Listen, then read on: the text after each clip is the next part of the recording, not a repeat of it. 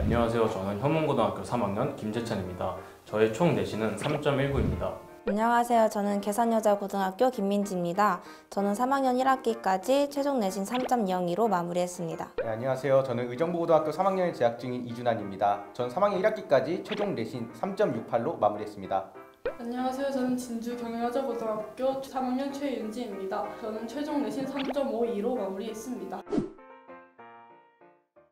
네, 내신 등급은 1학년 1학기 3.12, 1학년 2학기 2.88, 2학년 1학기 3.08, 2학년 2학기 2.92, 3학년 1학기 3.12로 총 정과목해서 3.0이라는 내신 등급을 갖고 있었어. 나는 먼저 상향으로 성신여대 심리학과를 종합 전형으로 썼고 두 번째로는 아주대로 상향을 썼는데 이것도 심리학과고 다자녀 전형이 포함된 고른기회 2로 썼었어.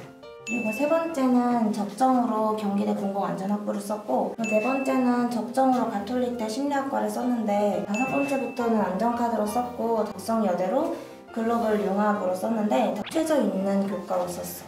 마지막 카드는 안정으로 경기대 공공인재학부를 교과로 넣었고 경기대를 가장 가고 싶었던 학교였기 때문에 안정으로 카드를 한 장 더 넣었어. 그럼 결과는 어떻게 됐어? 경기대는 1차 합격이 돼서 면접을 보러 갔었고 예비 5번 받아서 1차로 추합했어. 덕성여대는 예비 64번을 받아서 2차 추합으로 합격했고 경기대는 예비 11번이어서 이것도 2차 추합으로 합격했어. 지금 총 3개 붙었고 3개는 드라이브일 것 같다. 나는 2주 전 바꾼 수식카드로 합격이라는 키워드로 나왔는데 경기대에 대해서 공허 안전학부가 있는 건 알고 있었는데 거기에 범죄심리학이 포함되어 있는지는 모르고 있었어. 근데 2주 전에 학교 선생님께서 경기대에 범죄심리가 있지 않았냐 라는 얘기를 해주셔서 그때 다시 교과 과정에 대해서 알아본 결과 거기 안에 경찰행정학과랑 범죄교정심리학과가 있는 걸 알게 되어서 두 개의 카드가 2주 전에 새로 들어오게 되었어. 나의 내신 등급은 1학년 때는 4.1, 그리고 1학년 2학기 같은 경우에는 3.4, 그리고 2학년 1학기 때는 2.7, 2학년 2학기 때는 2.9, 3학년 1학기 때 같은 경우는 2.25가 나왔어. 그래서 총 내신 등급은 3.19가 나왔고 나의 첫 번째 수식 카드는 철학과를 썼어. 그리고 건국대학교 철학과를 똑같이 썼고 세 번째 카드도 마찬가지로 상향으로 숭실대학교를 썼어. 네 번째 같은 경우에는 적정으로 광운대학교 산업심리학과를 적었고 다섯 번째 같은 경우에도 네 번째랑 똑같게 광운대학교 산업심리학과를 적었고 여섯 번째 안전카드는 한성대학교 상승력 인지학부를 썼어. 전형 같은 경우에는 1번부터 5번까지의 카드를 학종으로 썼고 마지막 한성대 같은 경우에만 하나만 이제 교과 카드로 적었어. 광운대학교 같은 경우 보면 이렇게 두 개가 있는데 광운 참필 인재 2가 나왔기 때문에 첫 번째 카드는 광운 참필 인재 전형 면접형으로 하나를 썼고 두 번째 같은 경우는 광운대학교 참필 인재 전형 두 번째 서류형을 이렇게 적어서 광운대학교의 카드를 두 개를 썼어. 어, 이 카드에 대한 결과는 경희대 같은 경우에는 1차 불합을 하게 되었고 건국대 같은 경우에도 1차 불합 그리고 숭실대도 아쉽게도 1차 불합을 하게 되었어. 그리고 광운대학교 면접형 같은 경우에는 예비 10번을 받게 되었고 이제 광운대학교 서령 같은 경우에는 최초합을 하게 되었지 그리고 한성대 같은 경우에는 아쉽게 불합을 하게 되었어. 그리고 나의 키워드를 보면 전략적인 지원인데 아무래도 상향 카드를 쓸 때 굉장한 전략을 사용했다는 생각을 해. 왜냐하면 내가 3년 동안 이제 심리학과를 채웠지만 아쉽게도 심리학 같은 경우에는 서울권에서 굉장히 많이 했고 굉장히 상위권 대학이기 때문에 내 성적 대비 가기가 좀 아쉬웠어. 그렇기 때문에 심리학과 중에서 가장 비슷한 학과가 있나 생각을 하던 도중 학교 수업에서 심리학과가 철학과에서 파생됐다는 것을 알게 되었고 내 윤리 성적을 보면 다른 과목에 비해서 좀 좋았던 걸 알 수 있었기 때문에 지원한 학과와 교과목에 대한 성취도를 굉장히 높게 평가했기 때문에 이 세 개 학교의 그런 특징을 잡아서 전략적으로 지원을 했었고 두 번째 광운대학교 산업심리학 같은 경우에는 심리학과를 하나도 안 쓰게 되면 굉장히 나중에 후회가 될 것 같아서 심리학과를 그래도 하나도 붙고 싶은 마음에 이렇게 두 개를 썼고 다섯 개의 카드가 학종이다 보니까 아무래도 좀 불안한 마음에 교과로 그래도 어느 정도 붙을 수 있을 것 같다는 대학교를 한성대로 골라서 썼는데 이 광운대가 수능 전에 발표를 나는 바람에 이때 여기서 최초학을 하게 돼서 마감을 포기를 하고 결국엔 광운대학교 심리학과를 가게 됐어. 내 내신은 1학년 1학기 4.9, 아 1학년 2학기가 4.1, 2학년 1학기가 3.6, 그리고 2학년 2학기가 3.1, 그리고 3학년 1학기가 2.65 이렇게 돼서 총 3.68로 마감을 하게 됐는데 사실 내가 내신에서 좀 많이 아쉬웠던 부분이 사실 사회를 빼면 내 내신 점수가 많이 낮아. 수학 영어에 대해서 1, 2학년 때 그걸 회피하다 보니까 좀 내신 성적이 많이 낮아져서 수학 영어를 좀 많이 챙겼으면은 좀 더 좋은 대학 갈 수 있지 않았을까 그런 좀 아쉬움이 있기는 있어. 그래서 내가 수식 카드를 어떻게 썼냐면은 첫 번째로 쓴 거는 상향으로 숭실대학교 사학과 SSU 미래인재로 하나를 적었어. 두 번째로는 단국대학교 사학과를 적었는데 이번에 처음으로 면접형이 새로 신설이 돼서 단국대학교 DKU 인재 면접형으로 이 지망을 한번 적었어. 3지망은 경북대학교 사학과를 적었는데 솔직히 이걸 소신이라고 내가 써놓긴 했지만 솔직히 난 소신은 아니라고 생각했거든 아무래도 경북대학교가 이번에 내신을 안 보고 생기부만 본다고 말을 했으니까 써보자 라는 생각으로 한번 썼던 것 같아 그리고 네 번째는 경기대학교 사학과를 적었는데 등록 평균을 보면은 내가 0.2 정도 낮은데 근데 최종 합격자를 보면은 내가 내신 등급이 훨씬 더 높아서 적정이라는 느낌으로 적었던 것 같아. 그리고 다섯 번째는 한성대학교 크리에이티브 인문학부를 적었는데 이 크리에이티브 인문학부 안에 역사학과가 또 있어. 생기부가 좋은데 그래도 한성대를 적으면은 추합이라도 붙을 수 있을 것 같다 라는 생각에 적정이라는 생각으로 적었던 것 같아. 여섯 번째 카드는 강원대학교 인문학부를 선택했어. 그래서 5학종을 적었고 그래도 재수는 절대 없다라는 거를 좀 보여주기 위해서 안정으로 강원대학교 교과를 적었던 것 같아 그래서 결과는 어떻게 됐냐면은 숭실대학교 같은 경우는 원래 예비 7번이었는데 나는 글렀다고 생각을 했어. 작년에는 6번에 빠졌고 재작년에 5번이 빠졌었거든. 그래서 안 되겠다라고 생각을 했는데 3차 추가까지 보니까 결국은 됐더라고. 그리고 경북대학교 사학과 같은 경우는 최초합을 했어. 경- 사실 경북대학교 사학과가 학종이긴 했는데 아무래도 최저가 있는 전형이다 보니까 최저도 좀 많이 열심히 하려고 노력했고 내 생기부가 그래도 경북대에서는 인정을 좀 받은 것 같아서 좀 기분이 좀 많이 좋았던 그런 합격이었던 것 같아 경기대도 마찬가지로 최초합을 했어. 강원대학교 인문학부 교과로 썼던 것 같은 경우는 최초합을 했어 그래서 내가 최종적으로 합격한 대학교는 일단 숭실대랑 경북대, 경기대, 강원대 이 네 개 학교가 최종적으로 합격을 했어 혹시 그럼 내신이 3등급 됐는데 혹시 대학교를 지원하면서 어려웠던 부분이 있어? 내가 이 카드를 썼다고 했을 때 어, 친구 같은 경우는 너가 이 등급을 이게 된다고? 너무 높게 쓴 거 아니야? 좀 낮춰라 눈을 좀 이런 말도 좀 들었고 어떤 사람은 아니다 너 생기부 좋으니까 이 정도는 써봐라 라는 말이 좀 많이 흔들리다 보니까 내가 진짜 어떻게 해야 되지? 진짜 이 여섯 개 중에서 붙을 게 있기는 한 건지라는 고민이 좀 많이 들었던 것 같아 솔직히 3등급에서 가장 중요한 거는 남의 말을 듣는 것도 물론 중요하지만은 내 생기부가 자신 있다면은 내 주관을 나한 번쯤은 발휘해 보는 것도 나는 굉장히 중요하다고 생각을 해. 내 내신 등급은 1학년 1학기가 3.41, 1학년 2학기가 2.68, 2학년 1학기가 3.88, 2학년 2학기가 3.6, 3학년 1학기가 4.5로 총 3.52로 마무리했고 솔직히 내가 내신을 거의 포기를 했는데 그 이유가 1, 2학년 때 모의고사 등급이 너무 좋았어. 다 1등급이 수학만 2등급이었거든. 그래서 1학년 때부터 자연스럽게 정시 파이터를 선택한 것 같은데 좀 많이 후회하고 있어. 내신을 저 튕겼으면 좀 더 좋은 학교를 갈 수 있었지 않을까라는 후회가 조금은 있어. 수시는 다 떨어져도 상관이 없다는 생각이었어. 그래서 일단 논술을 하나를 썼고 마찬가지로 부산대 경북대 둘 다 논술로 수학교학과를 썼어. 그리고 3번은 또 부산대 수학과를 썼는데 부산대 같은 경우 는 최저가 수학 포함 이하 모로 형성되어 있거든. 수능 때는 뭔가 내가 할 수 있을 것 같다는 자신감이 있어서 한번 써봤어. 경북대 수학과는 내신 등급을 봤을 때 점점 내려오고 있더라고. 그래서 한 번쯤 해볼만 하지 않을까 싶어서 써봤고 나머지는 어머니가 국립대를 좀 많이 가라고 하셔서 서울 과기대를 논술을 나머지 한 장을 썼어. 정시 파이터인데 수시를 쓴 이유는 육부모 성적이 계속 안 좋으니까 수시를 좀 쓰는 게 좋지 않겠냐고 권유를 해줘서 써봤고 나는 수시 납치 당한 게 정말 너무 싫었기 때문에 그래서 우주 상향부터 상향까지 되게 과감하게 썼던 것 같아. 그래서 결과는 어떻게 됐냐면 부산대 수학교육과는 예비 10번을 받았는데 논술이 전형으로 3명 뽑거든. 그래서 아 그냥 안 되는구나 생각하고 바로 포기를 했고 이거는 최초합을 했어. 결론적으로 경북대랑 부산대 이렇게 합격했고 경북대 수학교육과를 최종적으로 선택했어. 수능은 국어랑 수학이 3등급 뜨고 영어가 2등급 뜨고 화학이 3등급, 생명과학이 5등급 그렇게 떠서 다행히 영어랑 수학으로 최저 이하모를 맞춰서 합격을 했어. 지금 붙은 대학교가 정시로 생각했을 때도 아쉽지 않은 대학교인지 경북대 수학교육과 같은 경우에는 이게 교과로 가면은 합격 평균이 1.9 정도더라고. 그래서 내가 아, 이 정도는 정시로도 못 가는 대학이었구나. 그래서 되게 감사하게 생각하고 있어. 내가 수시로 합격할 수 있었던 이유는 철저한 면접 준비 때문이다. 나는 면접 준비를 일주일 정도 했던 것 같아.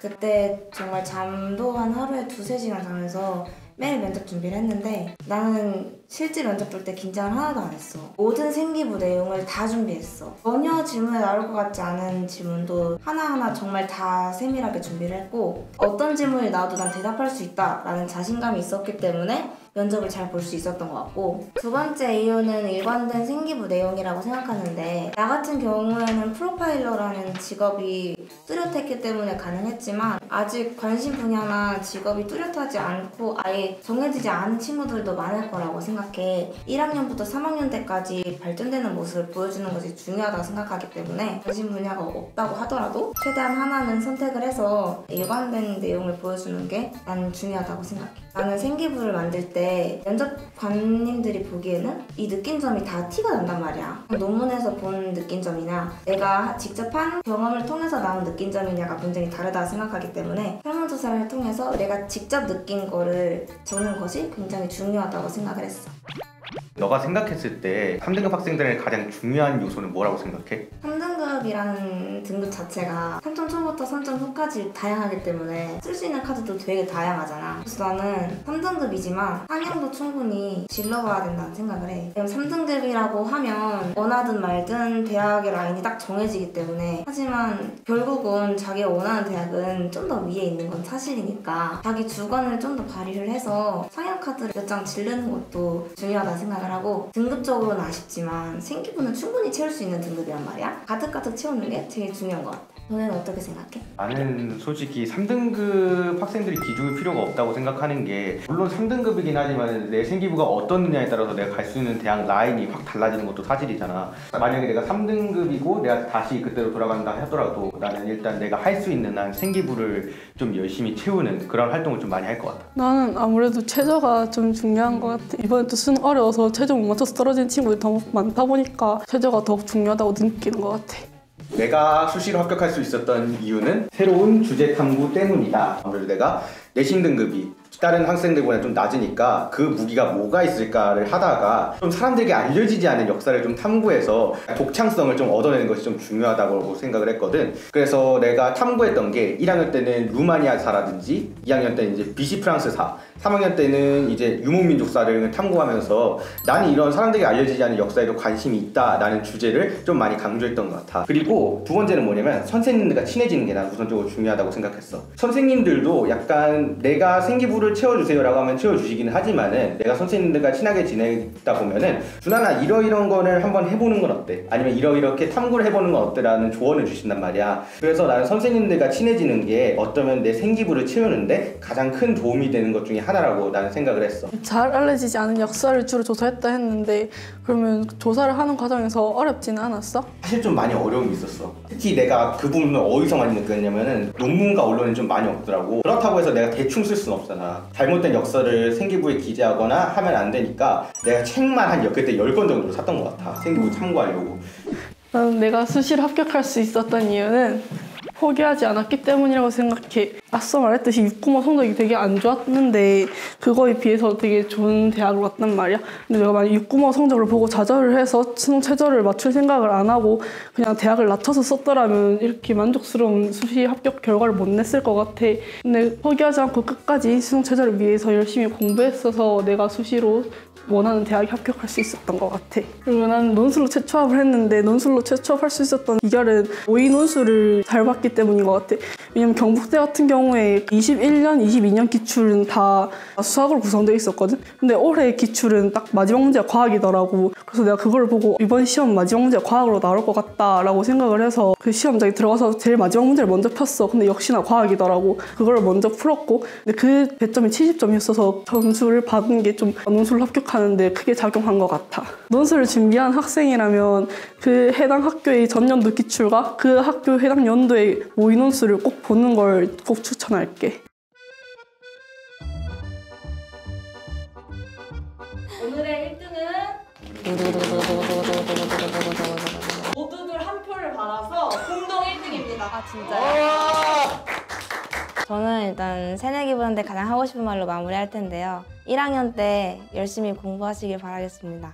여러분 내신 등급이 너무 낮다고 너무 실망하지 마시고 생기부에 자신 있다면 꼭 한번 자신감을 가지고 도전해 보셨으면 좋겠습니다. 이 영상을 통해서 후배들에게 일단 가장 도움을 줬으면 좋겠습니다. 1, 2학년 때 모의고사 등급 절대 믿지 마시고 내신 공부 열심히 하셨으면 좋겠습니다. 안녕하세요 여러분. 지금 연고TV의 디아로 활동 중인 이주연입니다. 1화에서는 이제 2등급 학생의 수시카드 고민에 대해서 들어봤는데요. 아무래도 가장 걱정이 많고 또 고민이 많은 학생들이 이제 3등급 학생들의 수시 원서 접수잖아요. 이번에는 3등급 학생이 수시카드 작성에 어려움이 있다고 해서 저와 유니브 클래스 컨설턴트님이 함께 도움을 드리려고 합니다 현재 학생이 학교 개방에서 이제 학생 노트를 쓰면서 도움을 기다리고 있는데 지금 당장 도움을 주러 가보겠습니다 네, 저는 경기도 안산시에 있는 일반계 고등학교인 안산고등학교에 다니고 있는 3학년 김영우라고 합니다.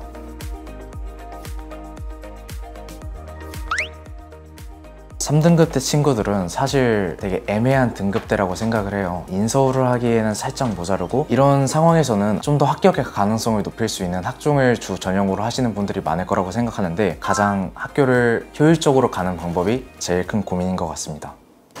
어, 안녕하세요.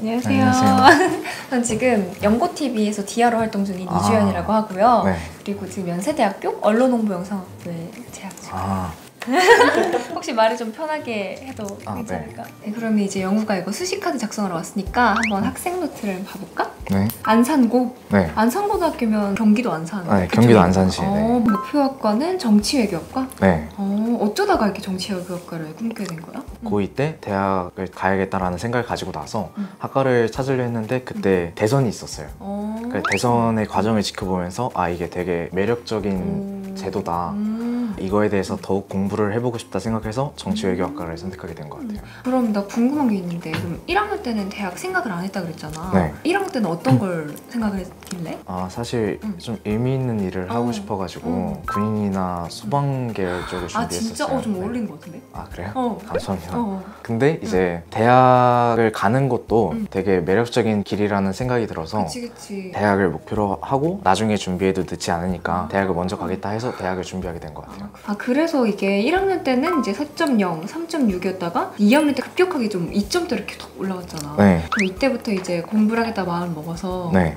啊 아 그럼 이제 모의고사 성적을 한번 봅시다. 3부를 보면 이제 국수형이 이제 3, 4, 3, 4, 4. 네. 탐구는 뭐 두개 있어? 생윤사문이요. 생윤사문 네. 이제 육모는 4, 5, 3, 3, 2 그러면 이제 탐구는 올랐고 네. 영어는 유지고 국수가 조금씩 떨어졌네 네, 음, 확실히 이때 좀 N수생들이 들어오니까 되게 음. 밀렸구나 네, 그래서 너 나름대로 유지는 잘 하고 있는 것 같은데 네. 그러면 이제 우리의 본격적인 고민인 수시카드인데 보면 이제 국민 대 국민 프론티어 정치외교 광운대 광운 참필인재 행정 음, 명지대 명지인재 정치외교 그러면 다섯 개 학종이고 한 개가 교과인 거구나 네. 그럼 수시 카드를 이렇게 작성했는데 네. 이 수시 카드에서 고민이 있었던 부분이 있었어? 저는 아무래도 면접이 많은 전형을 쓰게 될 것 같은데 음. 혹시 디아님만의 면접 꿀팁이라든지 면접. 노하우, 준비하는 방법 이런 게 있는지 궁금해요. 근데 이게 면접이 우리가 네. 준비를 할 때 완벽해야지 나 진짜 면접 말 겁나 잘해야지 이렇게 하고 하잖아 네. 안 그래도 돼 내가 좀 떨면 교수님들이 막 웃으면서 아 괜찮다 편하게 말해라 이래가지고 네. 내가 너무 능수능란하게 아주 현란하게 말을 해서 잘 보여야지 이렇게 안 해도 그냥 음,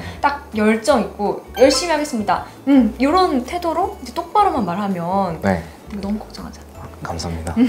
이제 영어 생기부가 어떻고 이제 수시 지원을 어떻게 전략을 짜면 좋을지 어, 같이 유니브 클래스 컨설턴트님과 함께 알아보러 가자 네 컨설턴트님 안녕하세요 안녕하세요. 유니브 컨설턴트 정채진입니다. 오늘 영어 학생의 수시 카드를 추천하고 분석을 하려고 합니다. 아무래도 전국에 비슷한 고민을 하는 친구들이 좀 많을 것 같아서 이번 기회에 영어 학생에게도 도움이 되고 다른 3등급 대 학생들에게도 도움이 되는 정보를 많이 전달하고 싶습니다. 그럼 제가 약간 궁금한 게 있는데 영어 학생과 같은 이제 3등급 대 학생들은 어떤 수시 카드 전략을 세우면 좋을까요? 가장 중요한 건 우선 일반고에서 이 등급 대 내신대 학생들이 사실 비교과 가능성을 조금 더 염두에 두고 서류평가 100%가 진행되는 종합전형보다는 면접평가가 조금 더 추가적으로 이루어지는 종합전형을 추천을 하거든요. 그 이유는 한 번 더 정성평가 요소가 이루어지면 그만큼 나를 더 어필할 수도 있기 때문에 더 유리한 요소라고도 보고요. 면접 전형을 피하는 학생들도 많아 수능 전에 면접이 이루어지는 학생부 종합전형을 좀 집중적으로 노려보는 것도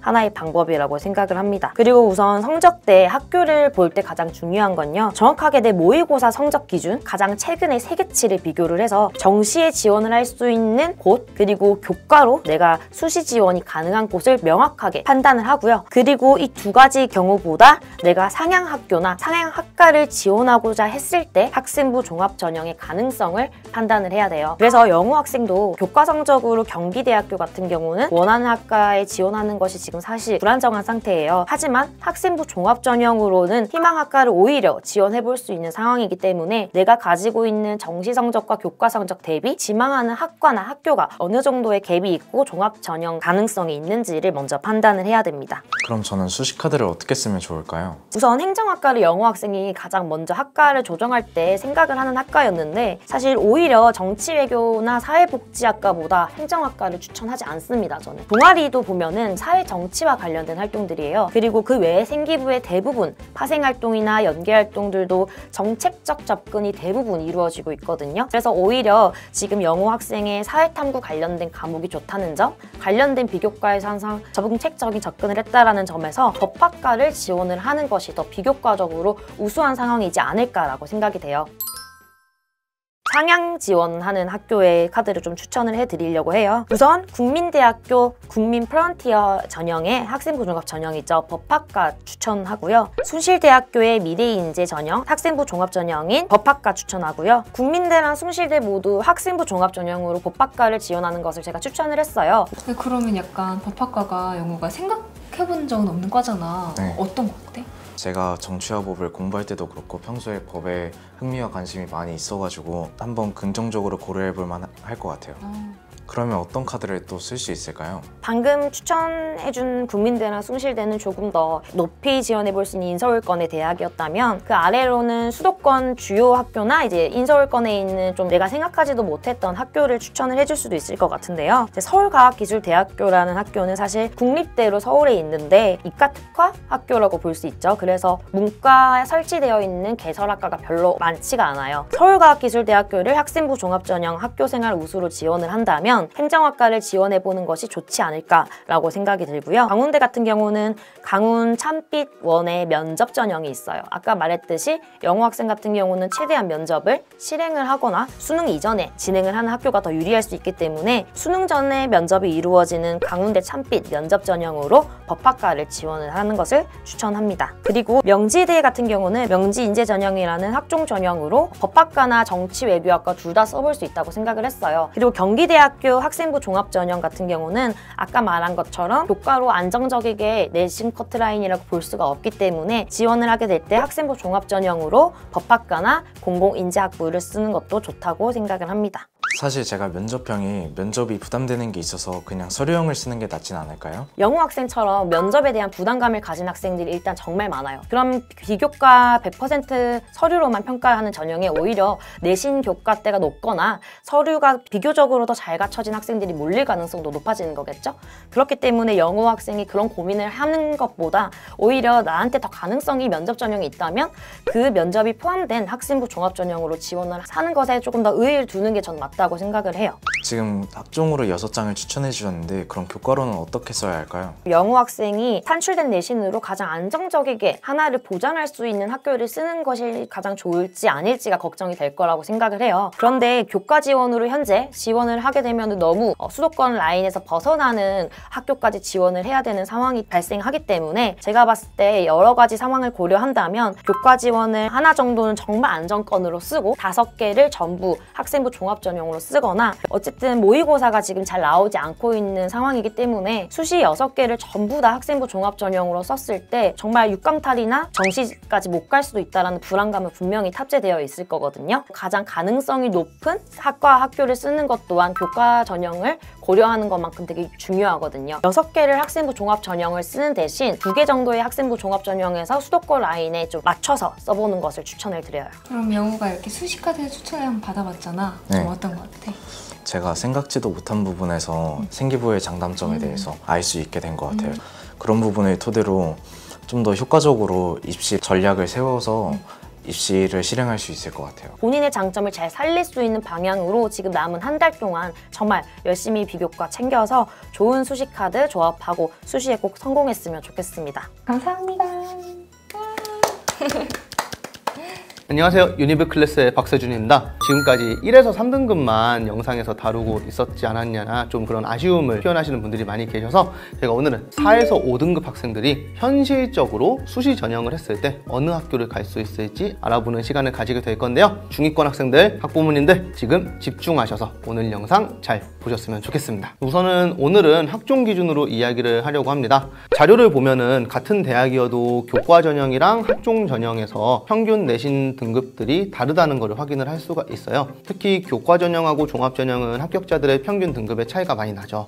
교과 전형 같은 경우에는 내신 성적을 주로 판단을 할 수밖에 없고 우리가 여기에서 뭔가 더 역전을 한다거나 이럴 만한 요소들이 사실 별로 없어요. 그래서 오늘 우리가 다룰 이야기에서는 종합 전형 이야기를 하게 될 겁니다. 입결을 통해서 어떤 학교 그리고 어떤 학과에 진학을 할 수 있는지 알아보도록 하겠습니다. 합격할 수 있는 모든 학과를 또 지금 다 다루기는 어려우니까 대표적으로 몇몇 학과들만 살펴볼 겁니다.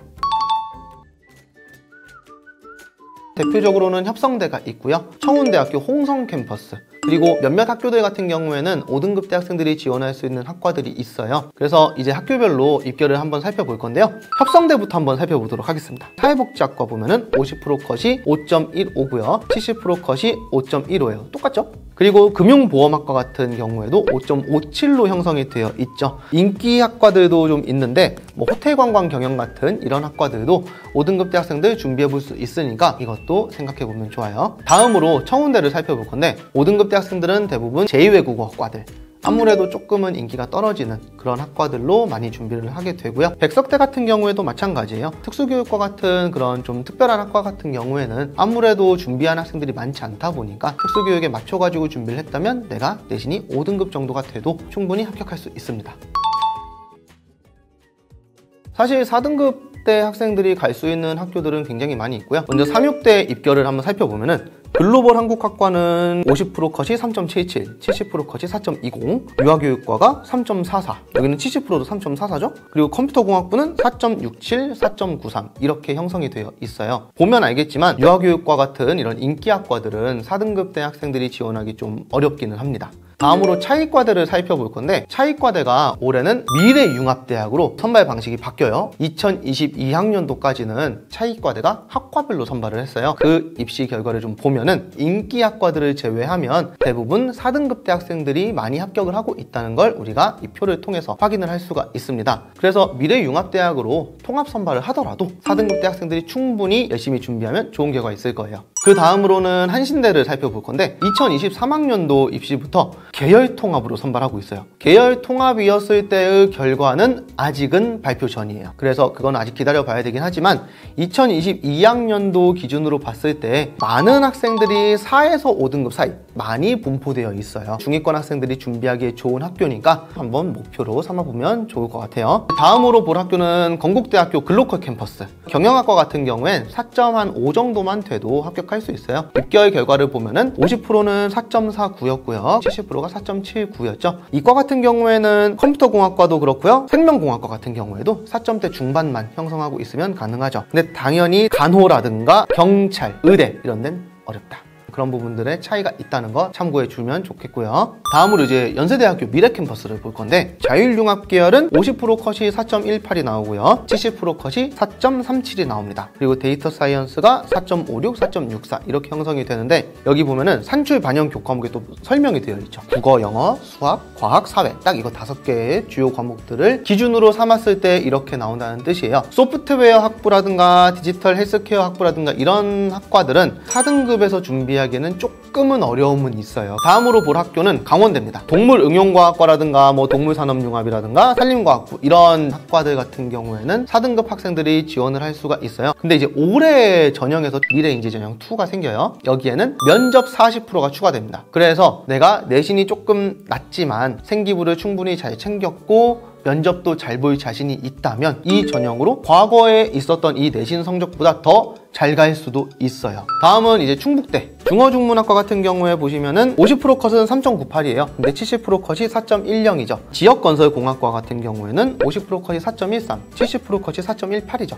그래서 여기도 마찬가지로 4점대 초반 정도인 학생이 지원해 볼 수 있는 학과들이 있습니다. 다음으로 우리 충남대를 살펴볼 건데 컴퓨터 융합학부 같은 경우에 소프트웨어 인재 전형이긴 하지만 열심히 프로그래밍 관련해서 공부하고 활동을 했다면 충분히 가능한 전형이에요. 그리고 영농 창업 부분으로 내가 생각을 하고 있다. 그러면은 원예학과나 응용생물 같은 이런 학과들도 준비해 봄직합니다. 진로 목표랑 관련해 가지고도 어떤 학과 전형들이 있는지도 찾아보는 게 중요하겠죠. 청운대 같은 경우에는 인천 캠퍼스랑 홍성 캠퍼스 두 개가 있는데 인천 캠퍼스에는 광고 홍보학과 같은 경우에는 3점대 중반 정도는 되는 학생들이 많이 진학을 해요. 그래서 여긴 좀 어렵지만 그 외에 뭐 경영학과 같은 경우에도 4점대 에서 형성이 되어 있는 걸 확인할 수 있어요. 그리고 하나 더. 청운대는 산업대학이어서 수시 6장 카드에 소속이 안 돼요. 그래서 6장 플러스 알파로 쓸 수 있거든요. 이것도 생각해주면 좋고요. 다음으로 한림대를 살펴볼 건데 인문학부 같은 경우에는 50% 컷은 4.89였고요. 70% 컷은 5.11이었어요. 화학과 같은 경우에는 4.35에 50% 컷이었고요. 4.66에 70% 컷인데 인기가 있는 학과 중에 하나였죠. 4점대 중반 후반이어도 준비할 수 있다는 거. 다음 이제 백석 대에 대해서 볼 건데 특히 여기서 우리가 주목해야 되는 학과가 있는데 경찰학부 같은 경우에 아무래도 학과가 많지가 않잖아요. 그래서 굉장히 인기가 많은 학과인데 경찰학부를 4점대 중반 정도면 충분히 준비해 볼 수 있다.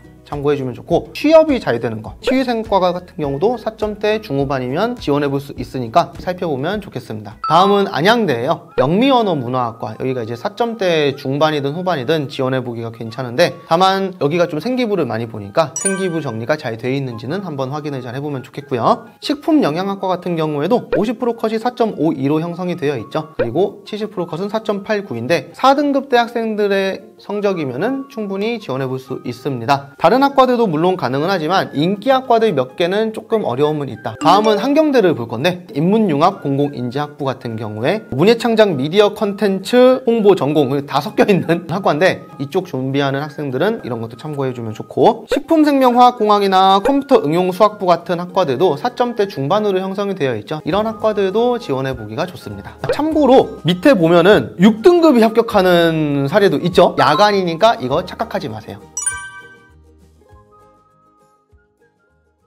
우리가 오늘 4, 5등급 학생들을 대상으로 이야기를 하고 있는데 솔직히 고1이나 고2 때 4, 5등급 찍을 수 있잖아요. 근데 내가 열심히 해서 등급이 올라가고 생기부도 열심히 챙겼어. 그렇게 되었을 경우에는 제가 지금부터 이야기를 해드리는 학교들을 상향, 최상향으로 지원해 볼 수 있으니까 인서울 그리고 경기권 주요 대학에 대한 꿈을 절대 버리지는 마세요. 이제 내신 3등급이라고 하면 뭐 지원하게 되는 학교들을 보면은 좀 높은 데들도 있어요. 어 저기 3등급이 어떻게 가요? 이렇게 생각할 수 있는데 내가 잘하는 과목이 한두 과목은 있는 거예요. 예를 들면 내가 수학과에 지원해. 그런데 수학은 1등급인데 국어가 5등급이야. 그럼 평균 3등급이죠. 내가 지원하는 학과에 맞는 과목만큼은 정말 잘한다. 그렇게 되어 있을 경우에 지원을 할 수 있는 학교들을 제가 알려드릴 건데 적정이나 안정이라고 생각하면 안 돼요. 무조건 상향이에요. 무조건. 그거를 감안하고 보셔야 됩니다. 우선 우리 동국대부터 이야기를 해줄 건데 제가 오늘 이야기를 해주고 싶은 학과는 중어중문학과나 일본학과 이러한 제2외국어학과. 아니 거기는 외고 국제고 애들한테 밀리는 곳 아니에요? 근데 이렇게도 생각을 할 수 있어요. 외고 국제고 학생들이 자연스럽게 챙기는 활동들을 일반고에서 챙긴다.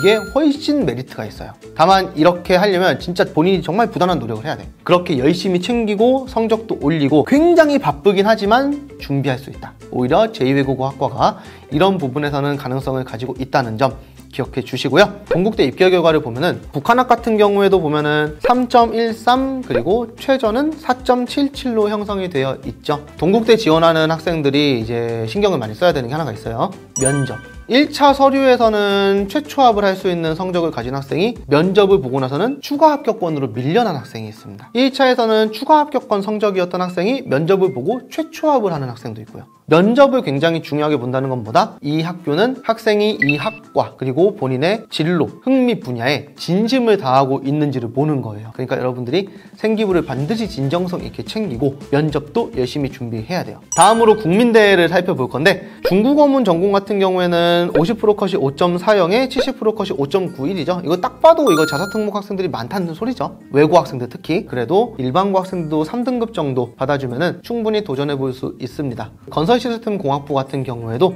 50%는 3.03이고 70%가 3.24잖아요. 살펴보면 좋겠고요. 다음으로 광운대입니다. 전자통신공학, 전자융합공학, 전자재료공학, 건축학, 건축공학, 수학과, 동북아문화산업학부, 국어국문학과, 영어산업학과, 법학과 같은 이런 학과들 많이 있어요. 문과 같은 경우에는 뭐 국어국문학과라든가 영어산업학과 이런 학과들이 3점대 초중반 정도 되면은 지원해 보기가 괜찮아요. 다음으로 상명대학교입니다. 문헌정보라든가 각종 사범대 그리고 식품영양학 이러한 인기 학과들을 제외하면 은 3등급 초중반대 학생들이라면은 충분히 지원해 볼 수 있습니다. 역사 컨텐츠는 최저가 3.62로 형성이 되어 있고 평균이 3.21이죠. 공간 환경 같은 경우에는 평균이 3.34, 최저가 4.16이에요. 그래서 3등급 중반 정도 학생이라면은 생기부 잘 챙겼다면은 지원할 수 있습니다. 다시 한번 말씀드리지만 지금 상향으로 지원할 수 있는 3등급 대의 인서울 경기권 주요 대학들 이 대학들은 내가 지원하고자 하는 그 과에 어울리는 교과목만큼은 잘 본 경우 그리고 상향 곡선을 그려서 내신이 점차 향상한 경우를 이야기하는 거예요. 평균적으로 3등급 쭉 찍었어. 그러면 이제 더 어렵죠. 전국의 중위권 학생 학부모님들께 제가 정말 강조드리고 싶은 게 있어요. 학생들 같은 경우에는 당연히 목표 좋은 대학들로 잡고 싶을 겁니다. 근데 나의 현재 내신에서 지원을 할 수 있는 대학 범위를 파악하는 것도 입시 준비예요. 내가 지금 내신이 5등급이야. 근데 저는 정시 보고 서울대, 연대, 고대 갈 거예요. 가겠냐고.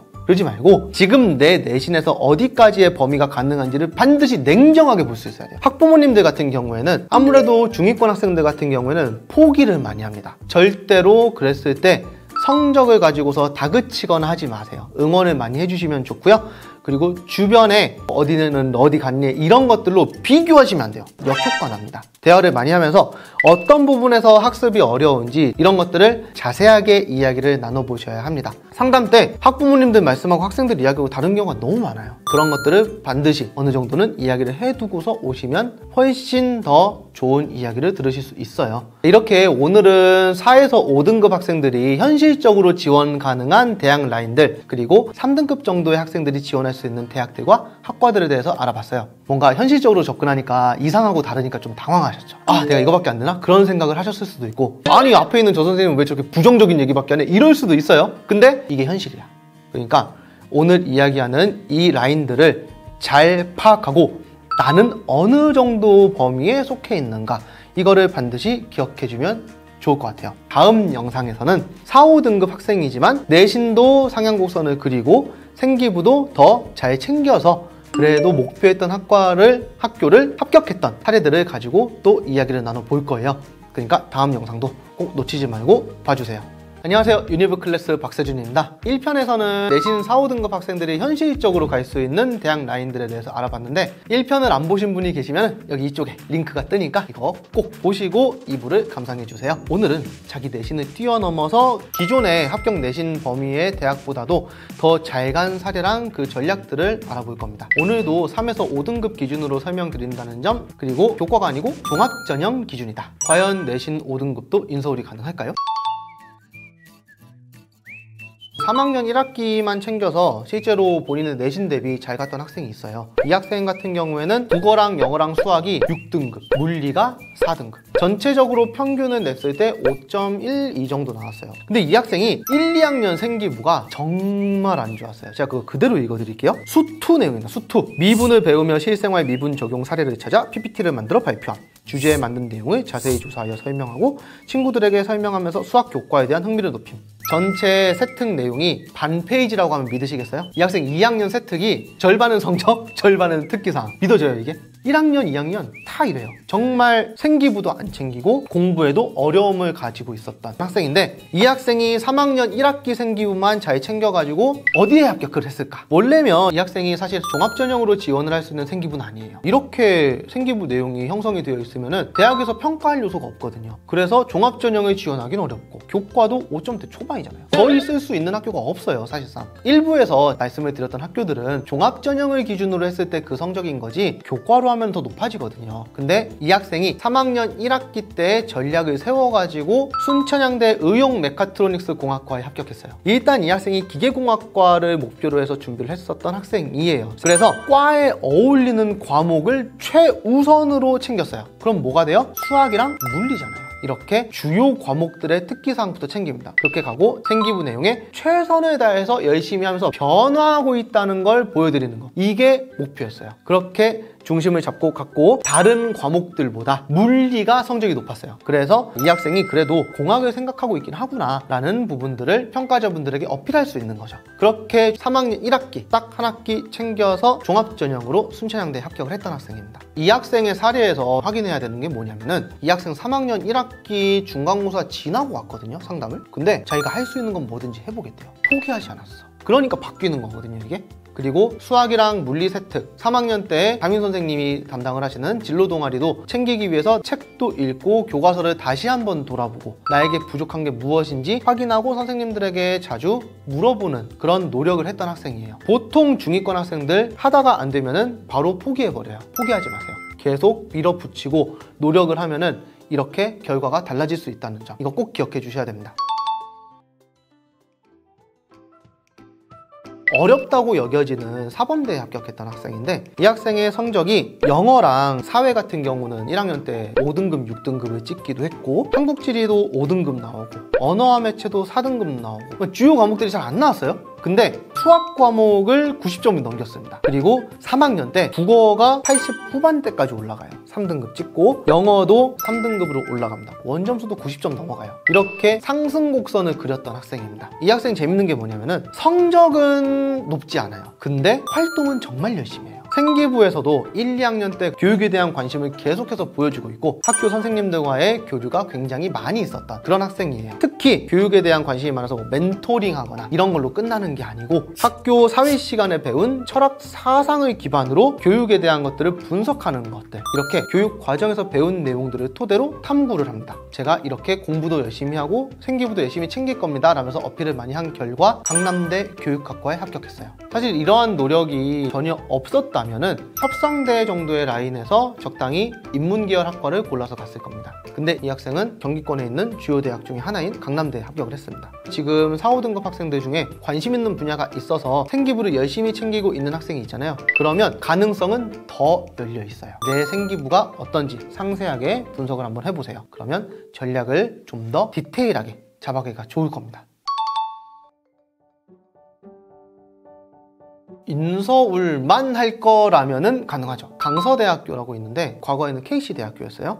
교과만 평가하는 전형에서도 5등급 대 학생들이 합격합니다. 근데 이 학교가 학과가 많지 않다 보니까 학생들이 좀 찾아보는 경우들은 적어요. 그래서 인서울이기는 하지만 인서울이라고 학생들이 생각을 잘 안 하죠. 보통 인서울이라고 생각하면은 제일 낮은 라인이 이제 한성대 라인인데 솔직히 말하면 5등급 대 학생들이 인서울이 가능하다 저는 회의적이에요. 진짜 가끔 가는 학생들이 있긴 있거든요. 근데 그런 경우는 복권 맞은 거예요 진짜. 그거를 보고서 누구는 내신이 5등급인데 어디 갔네? 절대 그러면 안 됩니다 그래서 여러분들이 현재 내가 가지고 있는 내신을 객관적으로 바라보고 여기에 맞는 현실적인 목표를 세우는 게 중요해요. 목표가 높아야지만 잘한다? 아니에요. 어느 정도는 현실적인 목표를 두고서 계단 형태로 조금씩 조금씩 올라가는 거를 생각하면서 준비를 해야 됩니다. 그래서 현실적으로 대학 레벨을 높일 수 있는 좋은 전략들에 대해서 제가 설명을 해 드릴 겁니다. 이런 식으로 내 성적을 정말 제대로 파악하는 게 일단 첫 번째 순서예요. 종합전형은 등급이 몇 등급이라고 해가지고 바로 합격시키고 이런 거 아니라는 건 다들 아시죠? 원점수, 평균, 편차, 성취도, 수강 인원 이게 다 따져요. 수강 인원이 40명밖에 안 돼서 원점수가 90점인데 4등급이나 5등급이 나올 수 있잖아요. 근데 그거 잘한 거예요. 원점수 90이잖아. 그래서 무조건 나는 평균이 4등급이니까 어디 준비하고 평균이 5등급이니까 어디 준비하고 이렇게 생각하지 말고 유독 잘하는 과목이 있으면 그거를 중점으로 종합전형을 준비하세요. 현재 내신에서 그래도 잘 나오는 과목이 있는지를 확인을 해보세요. 해당 교과목을 중심으로 평가하는 학 학과를 목표로 삼는 것도 좋은 전략이 돼요. 예를 들면 내가 수학이랑 영어, 과학은 잘 못하는데 국어랑 사회 과목들은 굉장히 높아. 그러면 사회학과라든가 국어국문학과 아니면은 제외국어 계열들이 있죠. 뭐 불어불문이나 독어동문학과 이런 데들도 괜찮고 철학과 같은 데들도 괜찮죠. 국어랑 사회 과목을 중요하게 보니까 이과 학생들 같은 경우에는 수학을 못할 수 있어요. 수학은 뭐 5등급 나올 수 있고 그런데 화학이랑 생명은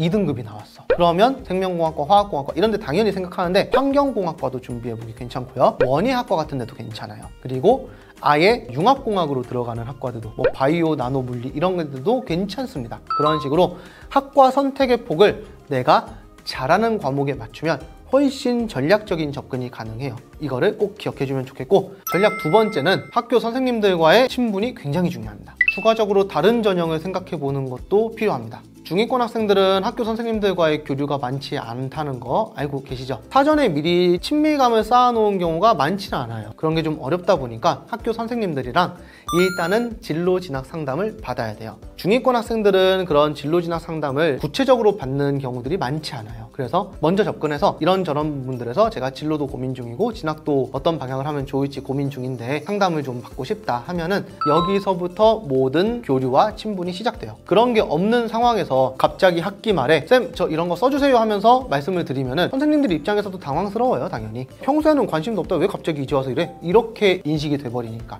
그래서 평소에 어느 정도는 친분을 쌓아두는 게 필요합니다. 그렇게까지 막 열심히 노력을 했음에도 불구하고 생기부를 잘 안 적어 주실 수도 있고 내가 외향적이지 못해서 그렇게 먼저 다가가고 하는 게 좀 어려울 수 있잖아요. 그런 학생들 같은 경우에는 차라리 다른 전형을 노려보는 것도 방법이 될 수 있죠. 가천대랑 삼육대 같은 학교들에서 진행을 하고 있는 약식 논술 같은 거 지원할 수 있고 교과 플러스 면접 전형으로 면접으로 조금이라도 더 역전을 하는 준비를 해본다거나 혹은 유독 수학이나 국어, 과학을 잘한다. 그러면 그 과목만 평가하는 논술 전형을 보는 것도 방법이에요. 경희대 수리 논술, 송시대 논술이나 아니면은 서울여대 과학 논술 이러한 학교들에서의 논술은 한 개 과목에 대해서만 평가를 하기 때문에 내가 그 과목을 유독 잘한다. 그러면 그쪽으로 논술을 준비해도 방법입니다. 세 번째 전략인데 이게 되게 중요해요. 무조건 세특을 작성할 때는 교과목에서 배운 내용이랑 연결 지으세요. 그렇게 하면은 학교 수업을 열심히 들었다라는 노력의 과정을 보여주기에도 좋고 교과목이랑 연결을 하기 위해서 내가 어떤 책을 참고한다. 그러면 책을 통한 추가 탐구 역량도 보여줄 수 있는 겁니다. 학교 도서관에 가서 청소년들용으로 만들어진 좀 쉽게 풀어진 해설서들이 많이 있어요. 철학 도서도 있고 청소년용 과학 이야기 아니면은 정말 그것도 어려워 그러면 어린이 과학 동화 같은 거에서 시작해도 괜찮아요. 거기서부터 시작하는 거야 거기서부터. 그러니까 부끄러워하지 말고 하나하나 차근차근 올라가는 걸 목표로 삼아서 전략을 세워보세요. 이렇게 우리 내신 4, 5등급 학생들이 어떤 전략들을 취하면 좋을지 설명을 많이 해줬는데 여기서 학생들이 내신이 좀 낮으면 많이 생각하는 게 있죠. 내신이 안 좋은데 논술이나 정시 준비하겠다 이러면서 그냥 내신을 아예 팽개쳐 버리는 경우들이 생겨요. 절대 그러지 마세요 정시 준비를 하면은 다른 학생들이 수시 준비할 때 정시 공부를 해야 되잖아요. 근데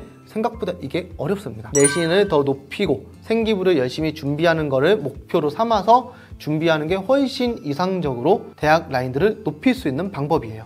포기하지 않으면 또 다른 길이 열릴 겁니다. 절대 포기하지 말고요. 영상을 보면서 궁금한 게 더 생기거나 하면은 꼭 댓글에 남겨주세요. 그러면 저희가 컨텐츠 만들 때 댓글을 참고하면서 또 만들어 보겠습니다. 안녕하세요. 유니브 클래스 윤여정입니다. 자, 우리 지금 한참 수시 마무리가 되는 시기입니다. 우리 고3 친구가 어떤 고민을 가지고 왔는지 한번 만나보도록 하겠습니다. 네, 들어오세요. 언니 안녕하십니까? 이쪽으로 앉으십시오. 안녕하세요. 저는 고3 이건우 엄마 송운영입니다. 다양한 고민이 있으실 텐데 그래도 이 시기에 출연까지 결정하실 만큼 고민이 되시는 게 뭘까요? 건우가 빅데이터 쪽을 진로로 음. 원해서 음. 평소 공부를 굉장히 열심히 해요. 음, 음. 딴짓 거의 안 하고 게임도 안 하고 네. 응, 응. 3학년 1학기까지 시험을 보고 나니까 음. 수학 성적이 너무 안 좋고 음. 그리고 수학을 노력해도 수학이 어렵대요. 음, 그래서 음. 종합으로 통계학과를 지원할 수 있을 까 그게 궁금하고 음. 지금처럼 열심히 해도 성적이 안 나오기 때문에 정시 때까지 이렇게 공부해도 되는지 공부를 어떻게 해야 되는지 그게 음. 가장 궁금합니다. 어머님이 보시기엔 나름 딴짓 안 하고 성실하게 하는데 네. 한 만큼이 너무 안 나온다고 생각하니 과연 이게 성적이 나올 것인가에 네, 네. 대한 고민. 네. 보통 어머니 우리 건우가 평상시에 순공 시간이 좀 어떻게 나오는 편이에요? 본인은 음. 시험 기간이 아닐 때한 10시간 정도 한다고 하거든요. 최소 대여섯 시간 이상은 하는 거고 주말에는 온전히 가서 하는 거고. 네, 그리고 끝나고도 할 게 더 있으면 집에 와서 또 잠 줄여서 또 공부해요. 그러면 이게 어머님의 고민이시기도 한데 아들의 심각한 고민이기도 하겠다. 그렇죠. 본인이 이렇게 음. 약간 성취감이 없기 때문에 막막해서 이렇게 하면 되나 계속 음. 의욕이 없는 거. 음, 음. 그러면 그거를 한번 오늘 건우랑 얘기를 해보면서 도와줄 수 있는 선에서 한번 공부 방법을 좀 들어보고 얘기를 해보도록 할게요. 네 들어오세요. 그네 앉아. 자기 소개 한번 하자. 저는 마포구에 재학, 재학 중인 3학년 이건우라고 합니다. 어, 마포고등학교 과중학교 어머님의 고민은 일단 들었어 건우야. 건우도 네. 못지않게 고민이 많을 텐데 건우의 고민은 뭐야? 어, 일단 제가 솔직히 원하는 대학이 일단 최소한 수도권까지는 원하거든요. 음, 수- 근데 우리 수도권의 기준이 다 남달라서 일단 저는 인천대까지는 어, 상하수를 그러니까 이게 수도권이라고 한다면 건우의 기준은 인천대. 인천대나 가천대까지요. 음, 음, 음, 음. 원픽 학교는 어디야? 거기까지가 하한선이라면. 가장 희망하는 학교는 음. 일단 숭실대예요. 그런데 그거에 비해서 지금 제 성적이 음. 너무 많이 안 나오고 있어서요. 그래서 음. 제가 남은 시간 동안에 계속 최대한 노력한다면 가능할까? 네. 어. 그러면 여기서 얘기하는 인천대나 가천대 우리가 인가경인데 요 라인 그치? 이 라인은 가고 싶은데 라고 할 때의 주전형은 혹시 뭐야? 일단은 가능하면 수시거든요. 최저로. 음, 음, 수시. 네. 수시도 교과가 있고 종합이 있잖아. 일단 가능하면 아무거나 괜찮긴 한데 아, 교과든 종합이든 여튼 수시로 끝을 내고 싶어요. 인 거고. 네. 그치? 만약에 이게 안 되는 것도 가정은 하는 거야? 어, 그러면 부전형으로 정시를 끌고 가고 있다? 통계학과를 가려면 일단 수학을 잘해야 되잖아요. 음. 근데 제가 수학 성적이 노력했던 게 너무 많이 안 나와서 빅데이터 학과는 유지하되 좀 통계학과보다는 문헌정보학과 쪽을 좀더 그치, 요즘에 그쪽으로 틀어서 많이 써. 그래서 생각보다 문헌정보가 학종으로는 합격하기 좀 어려운 게 통계나 빅데이터가 아, 수학이 좀 안 될 것 같아. 그러면 아이들이 좀 많이 틀어 쓰는 게 문헌정보이긴 해요, 저희 문과가. 그래서 문헌 정보가 생각보다는 그렇게 쉽지는 않은 패턴이기는 하다. 자, 그러면 일단은 조합을 해보면 우리 건우는 수도권의 딱 중상위권 학교, 인천대, 가천대, 같이 묶이는 경기대. 요 라인 안으로 끊고 싶어요. 이게 일단 첫 번째. 그 다음에 과는 가급적이면 통계나 빅데이터를 가고 싶지만 수시로는 힘들 것 같고 그래서 수시로 만약에 쓴다면 문헌 정보를 쓸 것 같아요. 가급적 수시로 끝내고 싶다고 했어요. 그러면 객관적인 지금 상태를 조금 봐야 돼요. 근데 우리 건우 지금 보면 일단 이 학교가 과중이고 그 지역에서 나름 하는 애들이 가는 학교예요. 아마 마포구를 갔다면 중학교 때 나름 건우도 어느 정도 했기 때문에 마포구를 갔을 거야.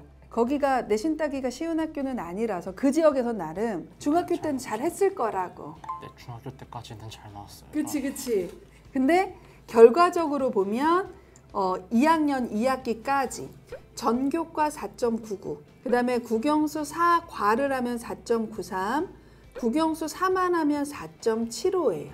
이4.75 주요 교과 평균 등급 대비 가장 좋은 게 사회 4.3이고 우려했듯이 가장 안 좋은 게 수학 5.5. 여기는 이과 베이스인 학교라 진짜 수학 잘하는 이과 애들 꽤 많은 거 제가 알거든요. 모의고사도 꽤 잘 나오는 애들 많은 학교잖아.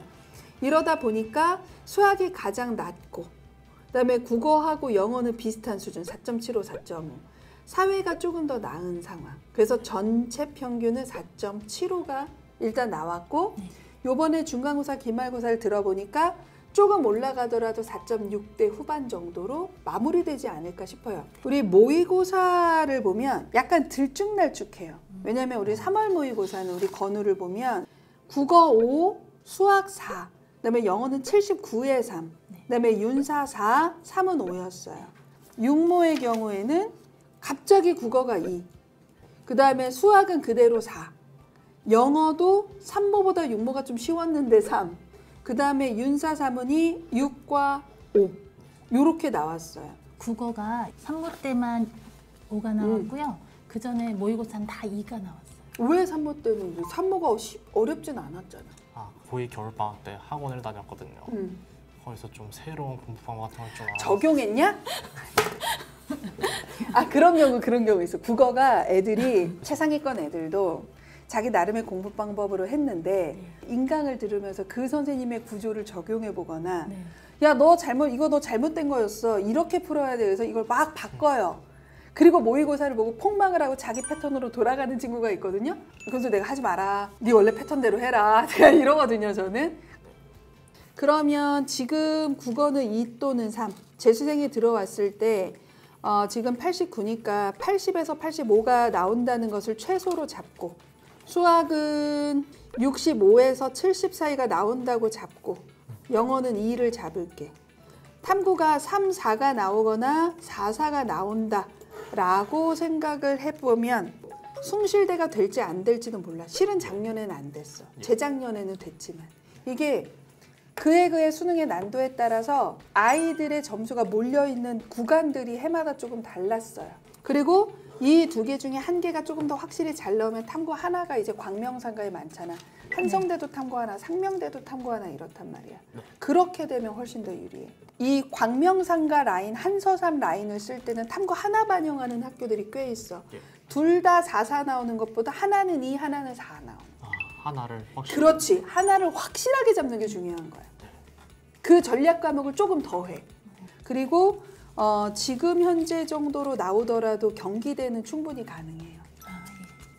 그러니 어, 조금 더 자신감 갖고 모의고사 공부를 좀 해봤으면 좋겠고 어, 일단 가장 시급한 문제는 공부를 해도 성적이 안 오른다라는 거였어요. 그래서 그 부분의 고민 때문에 건우가 저는 요즘에 이렇게 공부해요라는 자료를 좀 보내줬어요. 일단 선생님이 사탐 강사니까 탐구부터 얘기를 해보자면 이 사회 문화를 이렇게 공부한다면 공부 방법은 확실히 잘못된 거지. 지금 이거는 뭐냐면 너가 교과서나 교재에 있는 걸 그냥 한번 베껴 쓰는 거, 필사하는 거거든. 이렇게 필사 열 번 한다고 성적이 나오진 않아. 이게 1단원이긴 한데 이걸 지금 최근에 한다라고 하면 보통 이렇게 공부하는 패턴은 사문을 처음으로 공부하는 1회 독일 때 만약에 건우가 저는 여러 번 보고 지금 뭐 2, 3회독 또는 3, 4회독 중이에요 라고 하면 방법 자체가 매우 잘못됐다라고 봐야 될 것 같아요.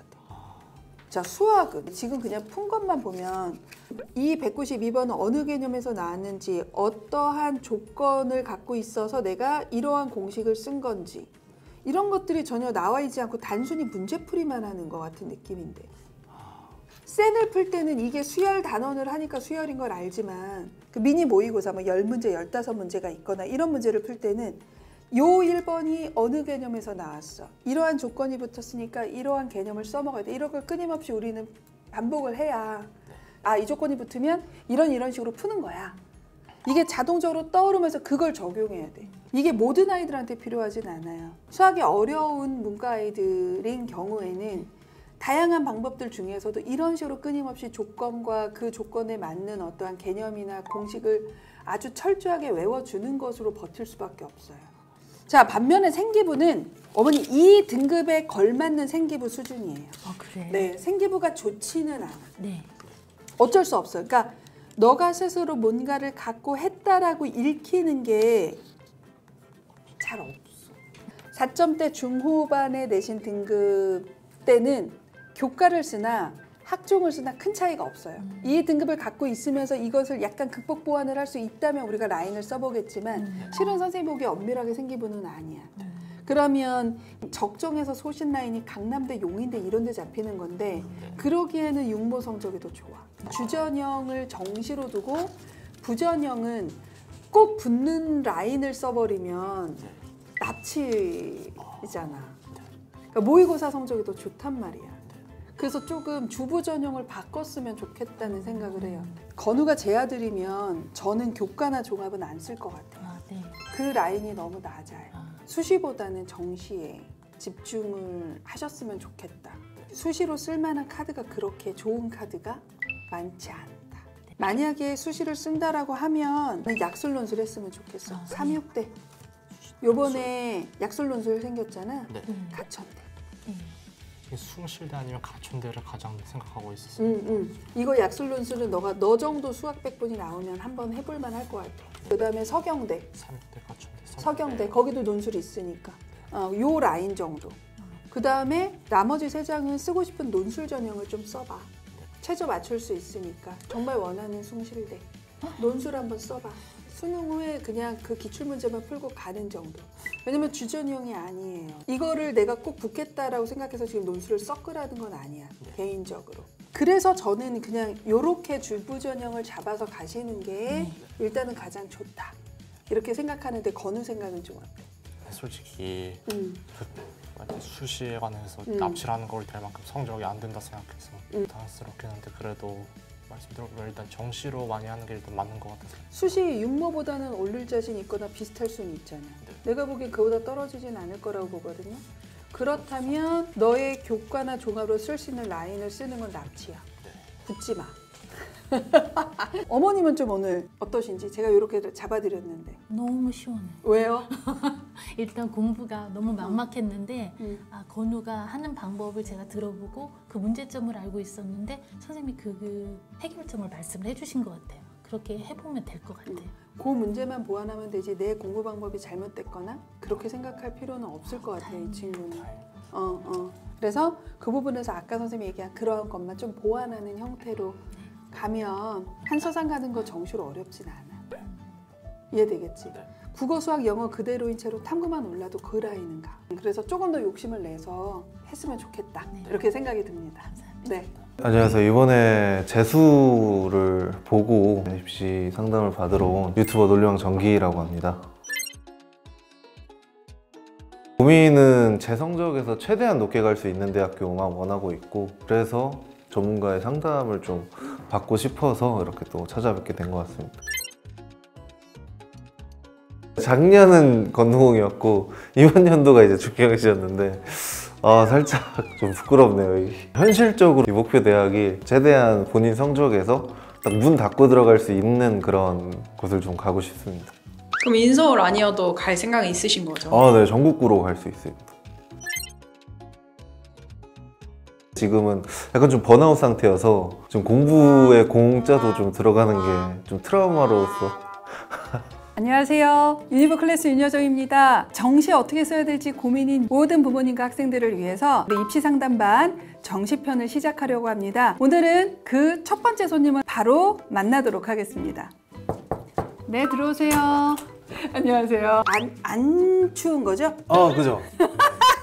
알겠어. 이 영상을 보시는 분들은 아실 것 같긴 한데 네네. 그래도 자기소개 한 번만 부탁드릴게요. 안녕하세요. 이번에 재수를 보고 이제 입시 상담을 하러 온 유튜버 논리왕 정기라고 합니다. 네네. 내가 이런 거는 좀 궁금증을 해결하고 가야겠다라고 생각하는 가장 중요한 포인트들. 궁금한 부분은 일단 첫 번째로 제가 영어 성적이 너무 낮게 나와가지고 음. 영어를 반영을 최대한 적게 하는 대학교로 이제 좀 지원을 하고 싶고 음. 두 번째로는 최대한 높이 가고 싶은 게 제가 두 번째 로 궁금한 음. 점이고 세 번째는 공고 출신이다 보니까 특성화고 음. 전형을 신청해서 할 수 있는지 그게 좀 궁금합니다. 일단 영어를 못 봤다라고만 했는데 나머지 과목을 잘 본 거예요? 아무래도 수능의 실전에 어떤 그 무게감이 있다 보니까 음. 확실히 잘 못 보긴 했는데 영어는 거의 그때 제가 아니었던 느낌으로 네, 제 자신이 어, 아닌 딴 사람이 본 것 같다는 느낌. 아 그죠 어, 그 그때 정도로? 약간 블랙아웃처럼 음. 네, 영어 시험 친 그 기억조차 안 나더라고요 그럼 일단 궁금한 건 최대로 높게 쓰고 싶다라고 할 때. 우리가 보통 스나를 쓴다고 하잖아요. 네네. 그러면 이 스나도 쓸 거지만 붙는 대학도 쓸 건지 아, 아, 니면 네네. 다 스나 쓰고 장렬하게 내년에 다시 한번 볼 생각인 건지. 안정의 대학권을 한번 좀 듣고서 대학권이 살짝 제가 생각한 대학과 좀 다르면 음. 아무래도 스나이핑을 세 번 도전할 생각을 지금 하고 음. 있습니다 여기서 본인이 생각하는 나 이 정도는 갈 수 있을 것 같은데 하는 학교. 제가 인문 쪽 으로 음, 음. 이제 지원을 할 생각이어서 음. 직업국은 그래도 좀 뚫을 수 있지 않을까. 직어국은 웬만하면 돼요. 하향까지는 아니지만 매우 안정적으로 좀 쓰고 싶다라고 하면 네네. 충남 그다음에 경북 부산 정도를 네네. 돌려보면 붙을 네. 수 있는 과가 꽤 있을 것이기 때문에 아, 네네. 그거는 쓰는데 별로 걱정 안 하고 쓰셔도 될 것 같고. 어. 아, 그러니까 네네. 나는 지금 안정을 왜 물어봤냐면 네네. 갑자기 안정을 서울의 어느 대학을 얘기할까 봐 한번 아, 물어봤어. 아, 네네. 어, 안정으로 생각하는 학교가 도대체 어딘 거야 했는데 그건 아니고. 아, 그죠. 저도 한번 돌려봤으니까 어. 제가 굉장히 현실적인 사람이어서 어, 그러면 서울권이나 수도권에서 어디가 가능한가? 아, 오늘 네네. 우리의 좀 상담은 좀 궁금하네요. 거기에 포커스를 아, 네네. 맞춰서 한번 네. 해보도록 할게요. 제대로 공부하고 본 수능이 요번이 처음인 건가요? 작년 구모 때 좀 많이 흐트러져가지고 음. 제 작년 목표가 건동홍이었다 보니까 음. 턱없이 부족한 점수대가 나와가지고 음. 어차피 공부를 해도 밑빠진 독에 물 붓는 느낌이 나고 공부는 내 길이 아닌가 보다 하고서 이제 음. 안 하려다가 좋은 기회가 와가지고 음. 그 선생님들과 같이 한번 도전을 하게 됐는데 음. 그래서 이 성적이 그래도 좀 나온 것 같아가지고 음. 그러면 작년의 성적은 어떻게 나온 거예요? 작년이 이제 5, 5, 6, 4, 4가 나왔는데 어... 굉장히 좀 처참했죠. 근데 어디 썼어요? 작년에는 이제 진학사를 이제 딱 돌렸을 때 음. 그냥 칼빈대라고 좀 이름이 멋있어 보여가지고 그다음에 이제 동국대 와이즈는 제가 건동홍 못갈시 이제 개장 탈퇴라고 걸었는데 어. 약간 좀 너무 꼼수로 이제 분캠 붙고서 이제 어. 고약 지켰다고 이제 어. 할때 살짝 좀 자괴감이 들었는데 아 그래서 동대 와이즈하고 칼빈데 네네 나머지 한 개는 딱 여백의 미로 비워놓고 어, 어, 어. 칼빈대는 불합격하고 동국대 와이즈만 붙어가지고 아 네. 그러면 동대 와이즈 됐는데 안 간 거예요? 사실 제가 원했던 대학은 어, 아니어가지고 나름 진학사 모의 지원에서 아, 이 정도는 적정이야 라고 하는 아. 대학을 썼는데 칼빈대가 어느 대학인지도 모르고 일단 어 네. 이름 너무 이쁜데 아, 네네. 무슨 외국 대학 느낌이야 이래서 네. 쓴 거? 네. 그러면 바로 직후부터 공부를 한 거예요? 아니면 언제부터 좀 본격적으로 한 걸까요? 저는 이제 중학교 수학조차 안 됐던 음. 학생이었고 영어도 ABCD밖에 모르고 뭐 남들은 3년 열심히 공부해서 이제 준비하는 수능을 노베이스로 이게 달려 본다는 게 사실 음. 그 열심히 하는 학생들한테 기만하는 게 아닌가라는 생각을 좀 하면서 진짜 마지막으로 음. 어. 한 번만 더 해보자. 그게 이제 아마 5월 달 5월 그럼 구모 성적은 나온 거 기억하죠? 구모 어떻게 나왔어요? 5가 이제 어. 5, 4, 4, 3, 5가 나왔는데 여기 성적표 네네. 보니까 100분이 55에 5, 화작이 수학은 59에 4, 아, 영어는 4, 탐구 는 생윤이 57에 5, 윤사가 79에 3. 영어만 네. 조금 두 등급 정도 오른 거고 나머지는 거의, 거의 작년. 수능하고 비슷했어요. 작년에도 그랬잖아요. 구모를 보고 아 이거 어차피 티끌이다 해봤자 네네. 라고 생각하고 구모 이후로 이제 흐트러졌었단 아, 말이죠. 그죠. 근데 요번에 구모도 이제 마지막이야 라고 하고 도전을 한 건데 네네. 성적이 비슷했단 말이야. 아, 그죠. 그때는 어땠어요? 아 이때도 살짝 근데 멘탈이 좀 흔들리긴 했는데 음. 근데 이때는 약간 아 내가 풀 수 있었는데 놓친 문제들이 좀 많아 보인다 아. 그리고 구모 때 이제 기조가 반영이 돼가지고 수학이 이제 킬러가 없어졌다 보니까 음.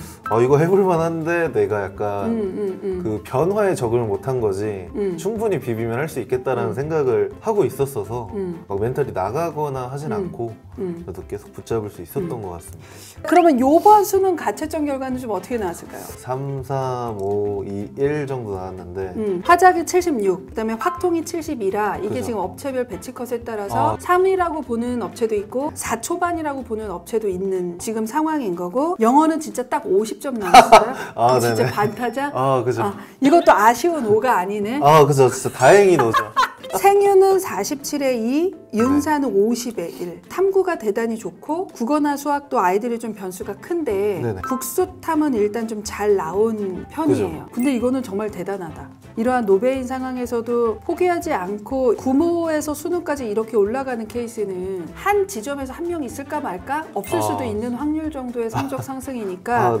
일단은 정말 영어를 빼고는 네네. 국수탐은 너무 잘 봤다. 근데 영어가 아 그러니까 영어가 진짜 안 했니? 진짜 너 영어 아, 안 했지 너 영어가 씨. 근데 구모 보면서 아 4만 나오지 막 이랬었던 게 학교들을 보면 영어 등급별 점수가 발표가 되잖아요. 네네. 그러면 봤을 때 3등급부터 오지 마 하는 학교도 있고 아, 네네. 4등급부터 오지 마 하는 학교도 아. 있어요. 네. 그러니까 1, 2등급은 비슷하게 준데 3등급을 점수를 아, 확 벌리는 학교 1, 2, 3은 문제 없는데 4등급을 확 벌리는 아, 학교가 네네. 있어요. 근데 모든 대학이 아, 네네. 5등급을 확 벌어. 아, 아, 네. 학교마다 3, 4등급까지는 그래도 조금 더 아. 점수 급간의 여유가 있는 학교들을 볼 수 있는데 네네. 보통 대학에서도 야씨 5는 아니지 하는 경우가 대부분이니까 아, 저 공감합니다. 4만 나왔어도 국어, 수학, 탐구 잘 본 점수를 써먹기가 훨씬 더 좋은데 그러니까. 지금 현재 성적을 가지고 선생님이 먼저 좀 한번 얘기를 해줄게 국수 탐으로만 보면 어, 아, 국수 영어 빼고요? 탐으로만 아, 영어 네네. 빼고 아, 그런 곳이 있나요? 저- 그러니까 없어요. 아, 아 없어요.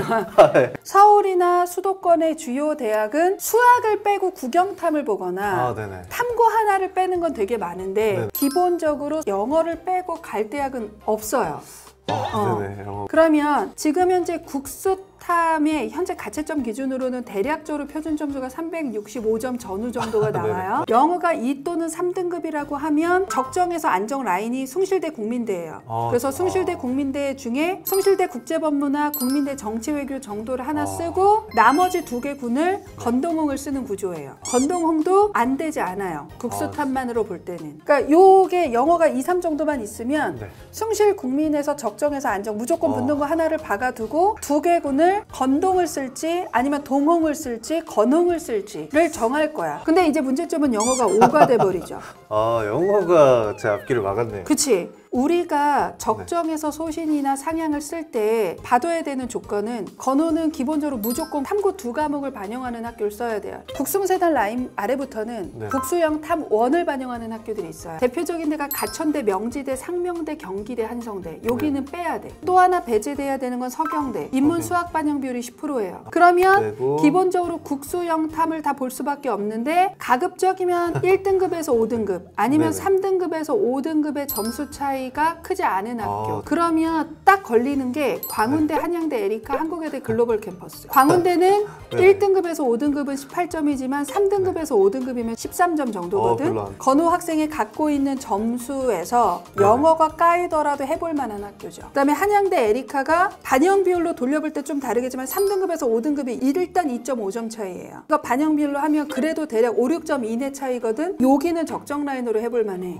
외대 글로벌도 3등급에서 5등급의 점수 차이는 12점이야. 그러면 이것도 너가 갖고 있는 국수탐의 점수의 유리함과 상쇄돼서 해볼 만한 대학 아 정도예요. 진짜요? 아 음. 음, 음. 안정으로 지거국을 쓸 건지 아니면 이 세 개 대학 중에 두 개를 쓸 건지를 정하면 돼. 예를 들어서 가군에 네. 한양대 에리카의 일본학과 한국언어 문화학과 이거 네. 적정 소신 라인 되거든요. 네네. 한국외대 글로벌 캠퍼스 중앙아시아나 아프리카 학과를 네네. 일단 list up을 해두고 그 다음에 나 군의 한양대 에리카 프랑스학과 나군의 광운대 산업심리 그 다음에 나군의 한국외대 글로벌 캠퍼스 인문과학 계열. 여기 철학 들어가 있으니까 이거 아니면 폴란드 우크라이나과 세 개를 list up을 해두고.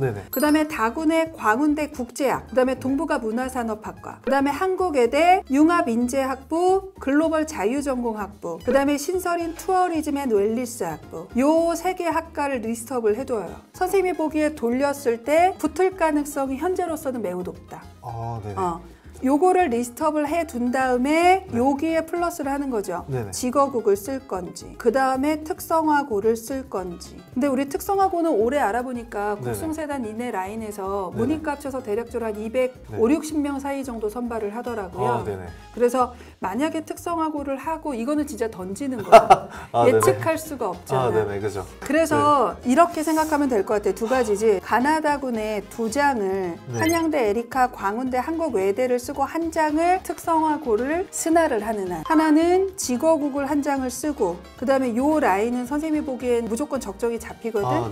그래서 이 중에 한 장을 쓰고 그 다음에 한 장을 스나하는 안. 요렇게 두 네네. 가지 안이 있을 것 같아요. 아 저는 2번으로 음, 한번 가고 음, 싶네요. 음. 오늘 좀 상담해 보니까 어떤 것 같아요? 어느 정도 이제 기준점도 좀 생겼고 그래서 음. 제가 좀 너무 좀 막막했거든요 사실 이제 음. 모의 지원을 돌려도 이게 맞는 건지 틀린 건지도 살짝 저는 모르고 아무래도 또 처음이다 보니까 음. 곤란한 부분들이 많았는데 그래도 좀 명확히 알게 돼서 지원할 때 훨씬 더 수월하게 좀 음. 지원할 수 있었던 음. 것 같습니다. 네. 모의 지원까지 보셔야 돼요. 이거는 배치컷만 보면 안 된다는 거. 스나를 꼭 성공하기를 아, 네. 진심으로 한번 응원하도록 아, 하겠습니다. 한번 돌려보겠습니다. 알겠습니다. 노베니까 정신은 안 되라고 지레 포기하는 친구들이 많아요. 네네. 근데 온몸으로 보여준 산증인이잖아. 아. 그런 친구들에게 네. 꼭 하고 싶은 말. 아, 일단 노베이스로 시작했을 때 남들보다 훨씬 더 힘든 거는 꼭 감안하시고 그리고 또 이제 노베이스를 또 전문으로 해주시는 선생님들 끝에는 또 계시니까 그런 것들도 또 참고해서 공부를 한다면 네, 여러분들도 한번 포기 말고 본인의 꿈과 목표가 있으면 달려봤으면 좋겠습니다. 안녕하세요. 저는 2년간의 입시 생활을 끝마친 윤성준입니다. 윤성준 학생의 엄마 강현정입니다. 아, 제가 현역 시절 때 수능을 보면서 너무 떨게 되어서 망치게 되었는데 재수를 하게 되었고 근데 이번에도 좀 결과가 만족스럽지 않아서 경기도 쪽만 갈 수 있을지 궁금해서 찾아왔습니다.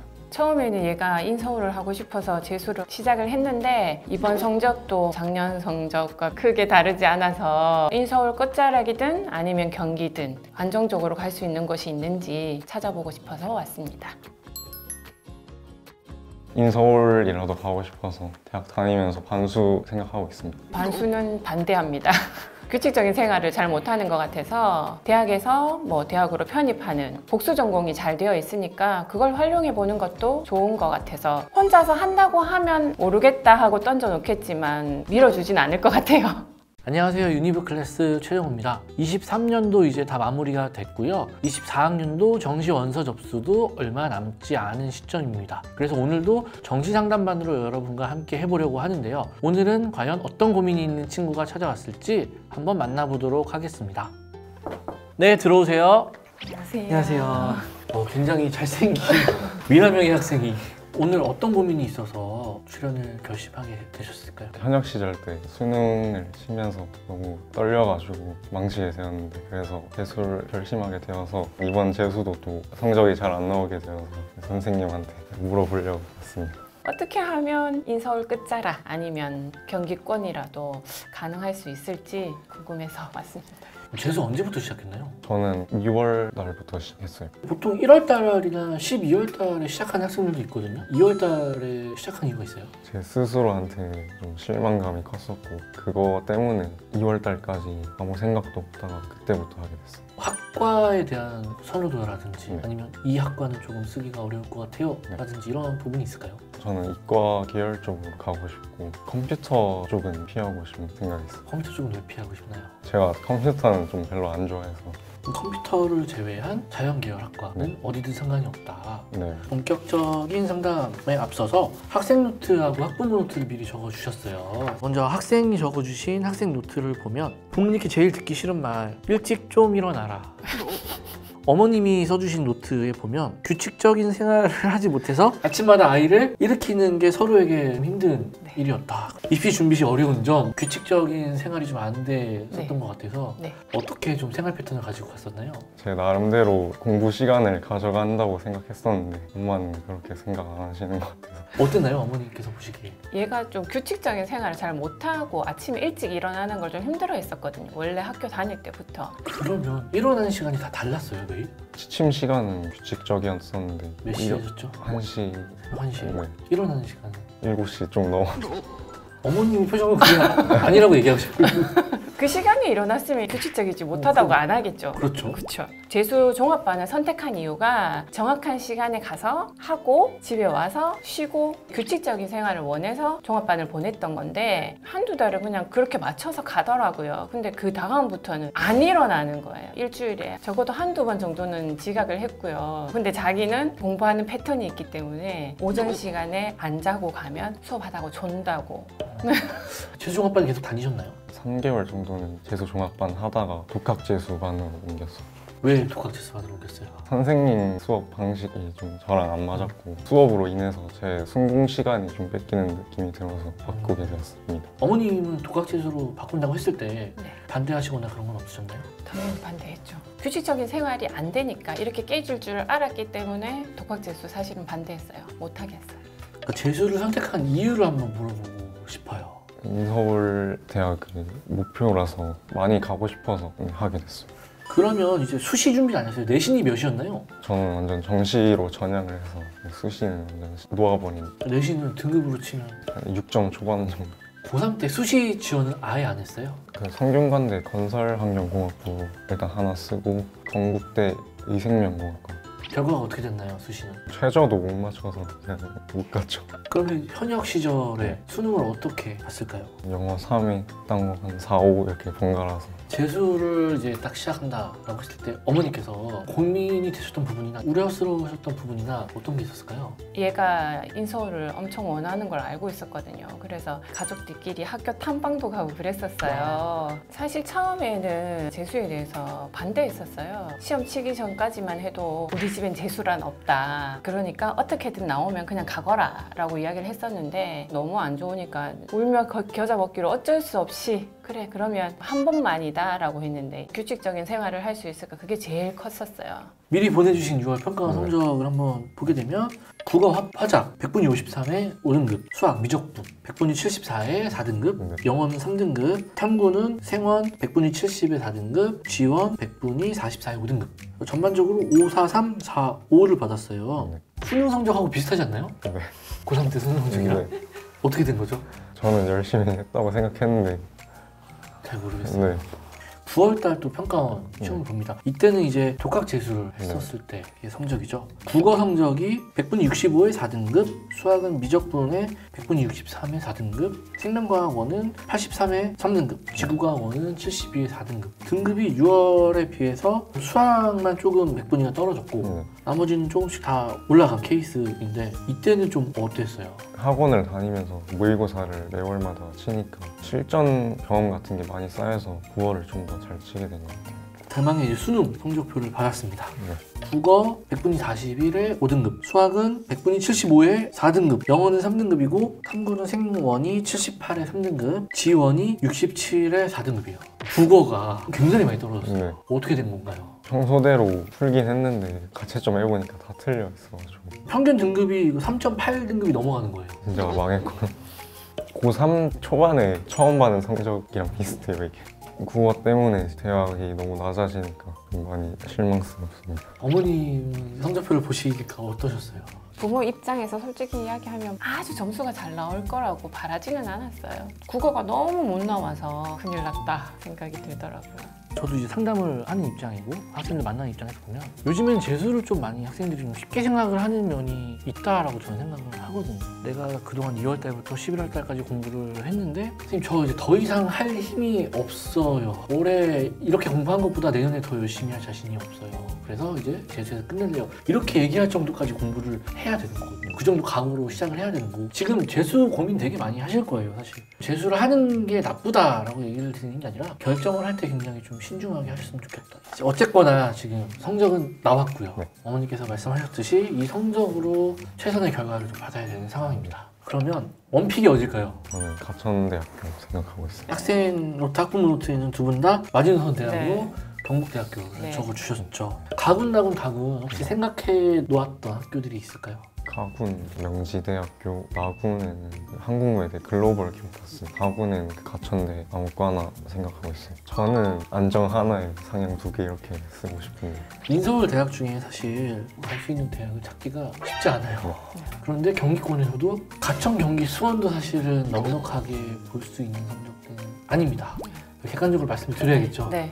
그 아래 대학으로 우리가 생각을 해봐야 될 것 같아요. 적절하게 좀 찾아온 학교들을 한번 말씀을 드리면 지금 학생의 구조가 국어가 굉장히 좀 안 좋잖아요. 표준 점수를 보고 100분위를 보면 지금 경기권에 있는 중위권 대학에 지금 지원을 해야 되는 상황인데 이 정도 대학으로 오게 되면 국어, 수학, 영어, 탐구 중에 한 과목은 버릴 수가 있습니다. 한 과목을 버리고 대학을 지원을 해야 되는 케이스의 네. 학생인 거잖아요. 그러니까 보통 이제 이 등급대 학생들이 어느 특정 한 과목을 못 보는 케이스도 굉장히 많아요. 학생은 이제 국어를 못 본 케이스지만 수학을 못 본 케이스가 있을 수 있고 탐구를 또 못 본 케이스가 있을 수 있겠죠. 이 라인에서 안정과 적정을 잡을 때는 조금 타이트하게 잡아주시는 게 좋아요. 올해 같은 경우에 특히 국어, 수학이 모두 다 어려웠던 해이기 때문에 한 과목을 잘못본 케이스들이 많이 들어오겠죠. 그러면 최초 합이 안 될 수도 있다라는 점을 조금 명확하게 한 번 더 생각을 하시고 전략을 짜시는 게 좋을 것 같다라는 생각이 듭니다. 수학과 영어와 탐구 한 과목 이 세 가지를 활용해서 선발을 해주는 학교에 지원하는 게 가장 좋은데 다행스럽게도 지금 제가 말씀드리는 경기권 대학부터는 거의 대부분이 선발을 그렇게 하고 있습니다. 그래서 보면 강남대, ICT 융합 공학부 여기가 수영탐을 반영해요. 국어를 아예 빼야 돼요. 그 학생한테는 딱 반영 비율적으로 맞는 학교. 여기는 적정 정도로 생각을 하시고 지원 성향이 될 것 같아요. 나군에서 첫 번째로 성공회대 미래융합 학 부가 있어요. 영탐이 필수고요. 탐구는 한 과목 반영하고 국어 수학 중에 잘 본 과목 한 과목을 선택을 할 수가 있습니다. 강남대와 마찬가지로 수영탐을 반영을 할 수 있는 거죠. 수학 가산점도 10% 들어가요. 수학에서 가산점을 받을 수 있는 상황이고 하지만 여기는 이제 상향으로 쓴다라고 생각을 해주셔야 돼요. 안정 성향으로는 볼수 있는 학과 강남대 여기도 똑같이 국어 빼고 수학, 영어, 탐구가 그냥 고정적으로 다 픽스가 되어 있어요. 가군의 강남대보다는 안정적으로 쓸 수 있다. 다군을 한번 보겠습니다. 먼저 상향을 보면 역시 성공회대로 나오고요. 성공회대 소프트웨어 융합학 이게 추합이 잘 안 돌게 되면 여기도 복귀가 좀 쉽지 않을 수도 있다. 그다음에 하나는 이제 차이과학대라고 학교가 있어요. 미래융합대학이라는 학부로 우리가 지원을 할 수 있는데 여기도 이제 소신 추합본으로 좀 써볼 수 있을 것 같습니다. 그 다음에 마지막은 역시 나 강남대 인공지능 융합공학 적정 정도 여기도 최초합을 바라보고 써볼 수 있는 정도의 점수다. 어, 저는 이제 가군, 나군, 다군 중에 좀 안정적으로 쓰고 싶다라고 하면 강남대를 두 군데 정도 지원을 하시는 게 맞다고 보고 나군에서 질러보고 싶다라고 하면 수원대나 성공회대 중에 지르는 게 좀 합리적일 것 같다는 생각이 들고요. 두 군데를 지르고 싶다라고 하면 가군의 강남대 무조건 써야 되고 나군의 성공회대나 수원대 중에 하나 쓰고 다군의 성공회대 를 쓰고 마무리하는 방향으로 가시는 게 어떨까라는 생각이 좀 듭니다.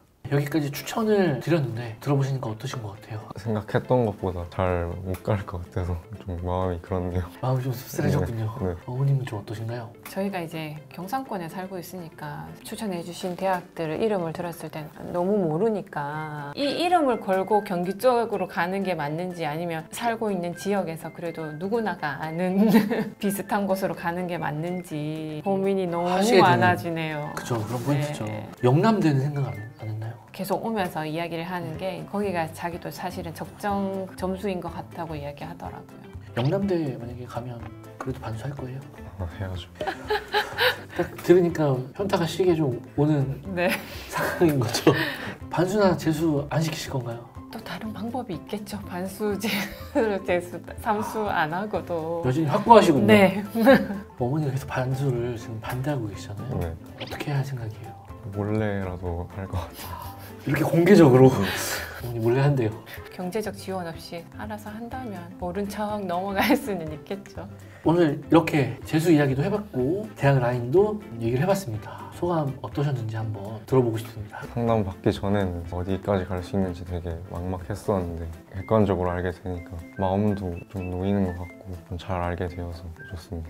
여기저기 막 정보를 봤을 때는 그래도 저기쯤은 되지 않을까 하는 상향이 있었는데 그래도 오늘 소식 말씀드리니까 아 여기까지겠구나 하는 그런 선이 생겨서 이제 원서 쓸 때 어느 정도는 돼야 되겠다 하는 걸 명확하게 알 수 있어서 너무 감사드려요. 가군 나군 다군 선택을 신중하게 잘 하셔서 올해는 꼭 대학 생활을 꼭 어머니의 바람처럼 어디에 있든 학생이 어떻게 하느냐에 따라 이게 끝이 아니니까요. 열심히 좀 생활을 하는 대학생이 되길 바라면서 오늘 상담을 좀 마치 도록 하겠습니다. 안녕하세요. 유니브 클래스 윤여정입니다. 자, 오늘은 특별한 손님들을 좀 초대했습니다. no base이지만 단기간 내에 성적을 조금 빨리 올릴 수 있는 노하우를 가진 선생님들을 모셨습니다. 우리 선생님들과 함께 no base지만 in서울을 희망하는 친구들의 사연을 들어보고 그에 맞는 전략과 솔루션을 제시해보는 시간을 가져보도록 하겠습니다. 자기소개 부탁드리겠습니다. 네 안녕하세요. 매년 5등급을 1등급으로 만들고 있는 국어 강사 장현입니다. 안녕하십니까. 한 번 들으면 빠져나가지 못하는 완강률 100%의 수학 강사 소현주입니다. 네, 안녕하세요. 가장 효율적이게 영어 2등급 이상 만들어줄 수 있는 영어 강사 김동영이라고 합니다. 자, 우리 선생님들이 상위권 친구들도 가르치고 하지만 노베이스인 친구들에 대한 관심도 있고 그 다음에 성적 향상에 도움을 많이 준다고 제가 들었는데 도대체 노베이스의 기준은 뭘까요? 하나는 진짜 공부를 전혀 해본 적이 없는 아이들인 것 같고요. 두 번째는 공부를 했는데 4등급 이하인 친구들. 수학은 어떨까요, 선생님? 비슷하게 두 분류로 나, 나눌 수가 있을 것 같은데요. 공부를 하지만 이제 상등급 이하. 수학 같은 경우에는 진도가 있기 때문에 중간에 진도를 놓친 학생들이 이제 공부를 따라가지 못하는 경우가 많거든요. 중간에 진도를 놓친 수포자에 가까운 친구들이 노베이스라고 할 수 있을 것 같아요. 영어 같은 경우는 이제 5등급부터 이제 보통 노베이스라고 볼 수 있는데 그 다음에 상태로 봤을 때는 단어랑 듣기가 거의 안 돼 있는 학생들이라고 보시면 될 것 같습니다. 이러한 친구들이 갖고 있는 특징 같은 것들이 좀 있잖아요. 어떤 것들이 있을까요? 국어 공부는 질적인 공부가 우선이 돼야 되고 그 다음에 양적인 공부로 넘어가야 된다라고 생각하는 사람이거든요. 노베이스 친구들을 기준으로 얘기하면 평가원 기출 문제집을 가지고서 많이 그렇게 시간을 재면서 풀어요. 대충 개념하고 계속 기출 모의고사를 계속 풀고 그리고 익숙해져서 맞는 비율이 늘어나면 어나 그거 지금 늘어나고 있나 이렇게 생각하는 친구들 말씀하시는 거예요. 네, 네, 네, 어. 정확하십니다. 어. 네. 수학은 좀 어때요? 어때요, 선생님? 내가 생각해도 나는 개념이 많이 부족한데 개념 공부를 하거나 기본 문제집을 풀면 주변에서 얘기를 하는 거죠. 야, 너 뭐해? 빨리 실무 안 풀어? 풀어야지. 그쵸. 음. 상태는 알고 있지만 본인의 그런 상태를 해결할 수 있는 방법을 관철하지 못하는 학생들이 노베이스들 특징인 것 같아요. 근데 그거는 2, 3등급 때 친구들도 저는 되게 많은 것 같아서 좀 걱정되더라고요. 그런 학생들이 꽤 많죠 생각보다 2, 3등급 권해도 네.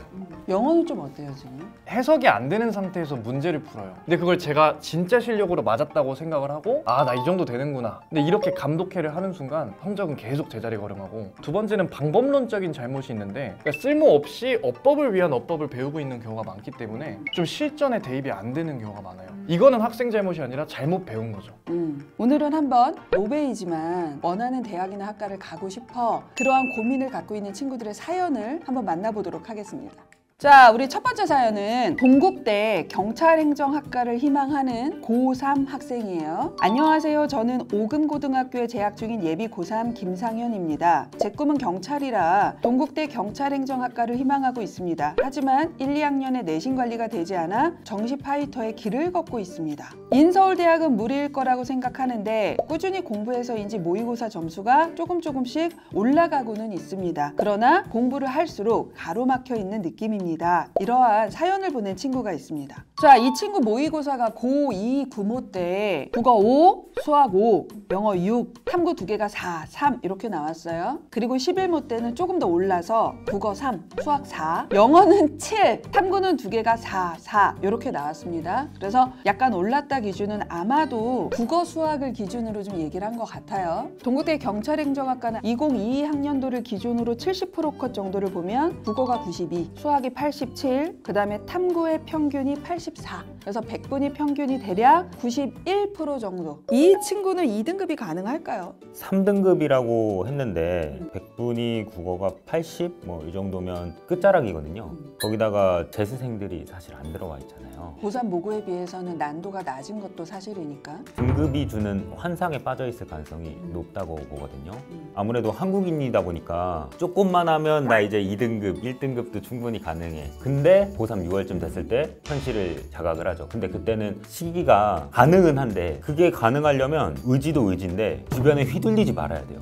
그러지만 않으면 충분히 가능합니다. 이것을 가지고 올랐다라고 얘기하기는 조금 애매한 지점이 있지 않을까라고 생각을 해요. 선생님 말씀처럼. 선생님 수학은 좀 어떻게 보세요? 5에서 4가 된 건데. 거의 노베이스라고 봐도 맞는 거죠. 그래서 고3으로 올라가서 3월, 6월, 4월 이렇게 모의고사를 보면 아마 5, 6등급까지 나올 수 있는 가능성이 굉장히 높을 텐데 일단 2등급이 가능하냐라고 생각을 해보면 굉장히 시간 투자를 많이 해야 된다. 그러면 할 수 있다. 이 정도로 말씀드릴게요. 선생님 영어는 심각해요. 영어는 한 등급이 떨어졌습니다. 떨어졌어요. 영어는 약간 여유로울 가능성이 높아요. 어차피 절대평가다 이런 얘기 먼저 하고 그 다음에 국어 수학 올리고 영어 올리면 된다. 그래서 뭐 6월 때부터 공부해도 2등급 나온다. 절대평가니까. 네, 저는 아무래도. 그 친구한테 뭐라고 얘기하냐면 자기가 어떤 여학생을 좋아하는데 그걸 나중에 고백한다고 해서 걔가 널 받아주냐. 아니 그 웃기잖아요. 그게 안 되는 애는 안 돼요. 계속 공부 안 하거나 뭐 그렇게 된다면 의지와 태도에 문제가 없다는 가정하에는 가능은 합니다. 제가 모든 등급대를 부수면서 왔기 때문에 네, 일단 가능은 하고요. 그래도 2등급이 아직은 불가능한 것은 아니다. 라는 공통된 의견을 좀 주신 것 같아요. 자 그러면 우리가 공부법에 대해서 한번 들어가 볼게요. 저는 7시에 일어나서 8시 반부터 11시 50분까지 국어 공부를 하고 점심을 먹은 다음에 12시 50분부터 6시 40분까지 수학 공부를 하고 저녁을 먹고 7시 40분에서 8시 50분까지 영어를 하고 8시 50분에서 10시까지 사탐을 한 후에 12시에 취침을 해요. 자, 국어 공부법은 우선 10월 달에 처음 제대로 시작하여 한 달 만에 3등급으로 올리게 되었고 11모 후에 김동욱 선생님 강좌를 수강하고 있는데요. 시간을 재지 않고 충분히 지문을 이해하고 스스로 논리를 세워서 문제에 접근하는 방법으로 공부하며 이해가 가지 않거나 틀린 것을 동욱쌤과 비교하는 방식으로 학습하고 있습니다. 자, 문제점이라고는 가끔 선지를 잘못 읽어서 틀리거나 내용 분석에서 집중을 잠시 못해서 틀릴 때를 제외하곤 큰 문제는 없는 것 같아요.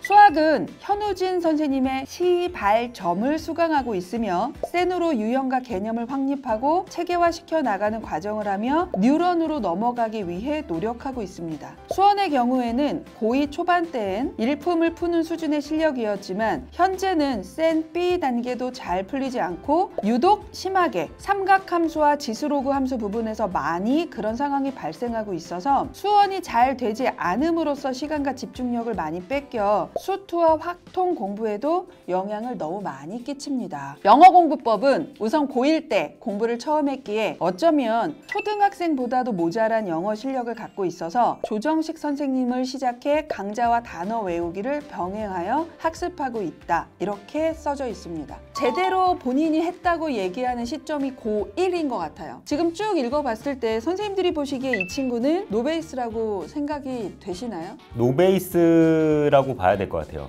시험이 쉬워서 3등급이 나왔을 가능성을 절대 배제를 할 수가 없고요. 그 당시 내신 대비를 하면서 일품을 풀었던 뿌듯한 자신을 지금 자랑을 하고 있지만 현실은 지금 쎈 B 단계도 잘 풀리지 않는 상황인 거니까 no base라고 얘기할 수가 있죠. 선생님 영어는 노베 같아요.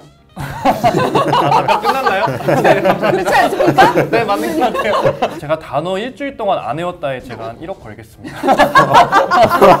그러면 이제 우리가 궁금한 게 진짜 이 아이가 구모나 11모에 어떤 걸 좀 맞고 틀렸는지 백분위가 좀 어떻게 되는지 조금 더 디테일하게 한번 보면서 진단을 해보려고 하거든요. 영어를 좀 보시면 어때요, 선생님? 1번부터 17번까지가 가장 눈여겨봐야 될 파트인데 여기가 듣기 파트예요. 부모에서 8개 틀리고 11모에서 9개 틀렸거든요. 듣기가 전혀 안 돼 있다고 판단이 되고 두 번째로 봐야 될 구간은 바로 18번과 19번 그리고 25번부터 29번 그리고 43번부터 45번 9월에서는 7개 틀리고 11월에서는 10개 틀렸어요. 이 구간이 어떤 구간이냐면 듣기 그 다음으로 쉬운 구간이에요. 듣기에서 너무 많이 틀렸기 때문에 아마 이제 단어가 안 돼 있을 가능성이 높고 쉬운 파트에서도 득점이 안 되고 있기 때문에 이 또한 단어의 어떤 부족함이 계속 연결이 될 가능성이 높다. 그래서 그 초등학교 필수 단어부터 다시 하고 듣기 같은 경우도 지금 기출 듣기를 할 때가 아닌 것 같아요. 유형별 듣기를 해가지고 블랭크 채우는 훈련부터 다시 하면서 듣기랑 단어만 저는 시킬 것 같아요. 제 학생이었다면. 자, 우리 현두쌤. 주관식 문항들을 전부 다 틀렸어요 지금 하지만 22, 23 같은 초반의 주관식은 센의 거의 A단계 수준의 문제가 나오는데 이것까지 틀렸다는 건 일단 개념이 안 되어 있다는 소리인데 앞쪽으로 좀 넘어가 보면 8번, 9번 정도부터 틀리기 시작해요 지금 앞부분도 비킬러 문항들인데 사실은 이게 5등급에서 4등급으로 오른 게 아니라 7등급에서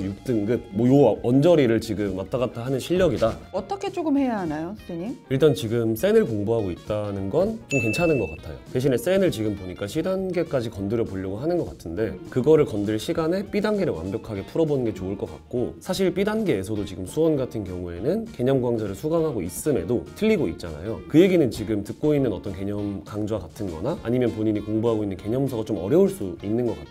너무 어려운 거를 남들이 다 하는 것처럼 해결하려고 하고 있지 않나. 그래서 기간을 좀 늘리거나 아니면 난이도를 낮춰서 소화 가능하게 만들어라. 이렇게 얘기하고 싶어요. 남들 하는 거 따라갈 생각하지 말고 내가 할 수 있는 선에서 조금 더 어려운 거 또는 지금 내가 할 수 있는 것을 다 맞추는 전략이 필요하다. 나름 올렸다고 자신하는 국어가 왔습니다, 선생님.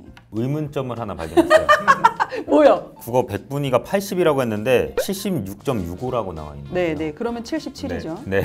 자기 실력을 착각을 하고 있는 거고요. 9월 거는 뭐 볼 것도 없이 그냥 전체적으로 다 틀렸어요. 그런데 거기에서 이제 문학 쪽에서 좀 많이 선방을 했다. 물론 찍어서 맞춘 게 없다라는 전제예요. 그래서 잘했다. 그리고 문법에서 또 주목할 부분이 9월엔 다섯 문제 중에서 네 문제 틀렸어요. 이번에 두 문제 틀렸어요. 네, 공부해서 맞힌 거라고 하면 그러면 아주 바람직한 상태인 거죠. 네. 그래도 다른 과목들에 비해서는 그래도 기초가 조금 조금씩 아주 미세하지만 좀 쌓이고 있다. 네, 그렇죠. 어, 어, 그렇게 볼 수 있을 것 같아요. 지금 현재 시점에서 이렇게 했으면 좋겠다라는 솔루션을 각 과목별로 간단하게 한번 정리를 해주시면 어떨까 싶거든요. 일단은 지금 갖고 있고 지금 펼쳐놓은 독해 닫으시고요. 지금 초등학교 단어를 일주일 만에 떼시고 2주 만에 중학교 단어 떼시고 4주차 때 고등학교 단어 들어가면 됩니다. 교재는 이제 초등, 중등까지는 아무거나 가장 인기 있는 거 하시면 되고요. 그다음에 고등학교 단어는 워드마스터 수능 2000을 쓰시면 됩니다. 수학에서 공부하고 있는 것 중에서 그나마 의미 있는 게 센을 풀고 있는 건데요. 거기에서 C 단계는 완전히 접고 B 단계를 대신에 상 문제까지 완벽하게 해보자. 센의 문제집의 85% 이상은 무조건 풀 수 있게끔 되어야지 의미 있는 공부가 될 거예요. 문법에서 주로 나오는 유형들을 먼저 잡아주는 게 좋을 것 같아요. 주로 나오는 유형이라고 하면 이제 의문 변동 반드시 나올 수밖에 없고요. 피동사동 나올 수밖에 없고요. 그리고 높임법, 시제 이렇게 네 가지 꼭 기억해 주시는 게 좋을 것 같아요. 비문학 같은 경우는 해설 지를 찢어버리세요. 저는 실제로 수험생 시절에 해설지를 진짜로 찢었어요. 저도 모르게 조금만 고민하다가 해설지를 보고 싶은 거예요. 근데 그 욕구를 참기가 진짜 쉽지가 않았어요. 그래서 해설지를 그냥 진짜로 찢어, 찢어버렸어요. 고민의 고민의 고민의 끝을 봐야 돼요. 그렇게 해서 스스로가 납득할 수 있고 그리고 지나가는 사람 아무나 붙잡고 설명할 수 있어야 돼요. 그 정도 수준으로 가야 된다. 이 친구 혹시 공부 시간표는 수정이 필요해 보이시는지 한번 얘기를 해보려고 해요. 제약을 하면 국어는 좀 이렇게 시간 관리를 하고 이 정도는 그래도 너가 계속 가져야 된다라는 이런 얘기를 좀 가까먹게 해봤으면 좋겠거든요. 국어 하루에 3시간이면 네, 적당한 수준이고요. 국어는 또 너무 많이 하면 사고를 떠올려야 되는데 집중력이 떨어져서 떠올리지 못하거든요. 그래서 3시간 정도의 시간 적당하지만 현실적으로는 1시간 반씩이 가능할 것 같아요. 학기 중에는. 그러면 첫 달에는 독해력 공부, 시간 재지 않는 공부에 집중을 좀 해주세요. 그런 다음에 두 번째 달서부터는 1시간 반씩 잘라서 월요일에 독해력 공부, 화요일에 문제풀이 공부, 수요일에 독해력 공부, 목요일에 문제풀이 공부 이 번갈아 가면서 물론 여기에는 독해력 공부에 문학도 들어가요. 문학은 단순하게 푸는 게 아니라 작품을 분석하는 과정이 반드시 좀 필요하고요. 그렇게 하면 좋을 것 같습니다. 지금 수학은 절대량이 그래도 방학 때는 좀 있었어요, 선생님. 가장 급격히 줄어들 게 아마도 수학일 가능성이 되게 높은데 감히 3시간 정도를 확보해 달라고 얘기하고 싶어요. 수업을 듣는 시간을 제외하고 이거를 일주일 내내 하기가 조금 힘들면 평일에 하루나 이틀 정도를 수학을 조금 적게 하고 주말 하루를 좀 아예 수학 day로 가져가는 것도 괜찮은 방법이에요. 지금 영어가 부족한 걸 알지만 국어 수학 때문에 치여서 영어를 많이 못하고 있기도 해요. 이거 어떻게 해요, 영어 선생님? 한 달에서 두 달, 최대 두 달까지는 한 시간 반에서 두 시간 정도 투자를 하고 두 달 이후로부터는 한 시간만 투자해도 돼요. 왜냐면 그 두 시간씩 투자하면서 이제 머리가 말랑말랑해지는 거죠. 영어를 봤을 때 좀 부드러워지고 눈에 익히고 하는 기간이 두 달 동안 하루에 두 시간 그 정도를 만든 다음에 그 다음부터는 유지만 하고 국어랑 수학에 투자하는 게 오히려 좋다고 봐요. 그래서 무조건 이 친구는 3등급까지는 두 시간 투자해야 된다. 그냥 확실하게 맞아요. 등급으로 얘기하면 음. 3등급까지는 두 시간 투자하고 학기 중이라고 하더라도 최소한 국어는 1시간 반, 그다음에 수학은 3시간, 요 등급대라면 영어는 2시간을 일단 두 달은 해라 라고 한번 정리를 해 볼 수 있을 것 같아요.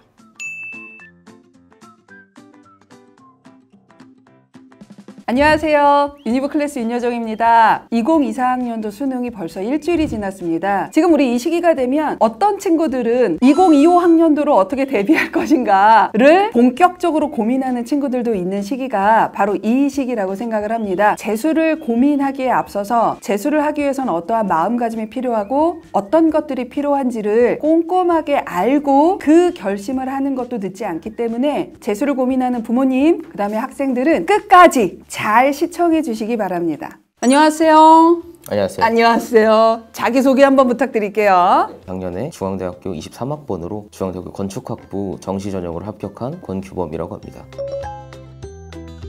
제가 오늘 인터뷰하기 전에 현역 때 수능 성적, 재수 때 성적 이런 거 한번 받아봤는데 성적 향상이 조금 남달라요. 재수를 한다고 드라마틱한 성적 향상이 반드시 일어난다라는 것에 대해서 아주 비관적인 사람이거든요. 어떻게 올린 거라고 본인은 생각할까요? 수능 직전에 10월 모의고사에도 9등급 또 찍어본 적이 있고 그거는 찍은 거 아니야? 아니 풀었습니다. 풀어서 9등급 나왔다고? 푼 과목인데 푼 게 이제 찍은 것보다 낫긴 해요. 그러면 현역 수능 때는요? 평균이 거의 5등급대라고 보시면 됩니다. 네. 근데 요 정도에서 재수를 하고 나서는 평균 어느 정도까지 올라간 거예요? 평균 다 2등급대로 3등급 이하는 없습니다. 이거 진짜 말이 안 되는 거야. 이 정도로 성적 향상이 나오는 친구는 한 명 있을까 말까 한 정도의 확률이에요. 아, 이 형은 도대체 어떻게 공부를 했을까? 하나하나 파헤쳐 보도록 하겠습니다. 혹시 출신 고등학교가 어딜까요? 대전 대성고등학교 출신입니다. 그 학교를 갔다라는 건 입학할 때 일단 나는 학종을 일단 우선으로 할 거야라고 생각하고 선택한 학교잖아요. 그러면 내신은 좀 어떻게 나왔을까요? 1학년 1학기까지는 좋았어요. 그때는 이제 2등급도 있었고 그게 1학년 1학기만. 네, 거기가 이제 제 최고 성적입니다. 3학년 2학기까지 평균 내신 얼마 나온 거예요? 2.8 정도 나왔어요.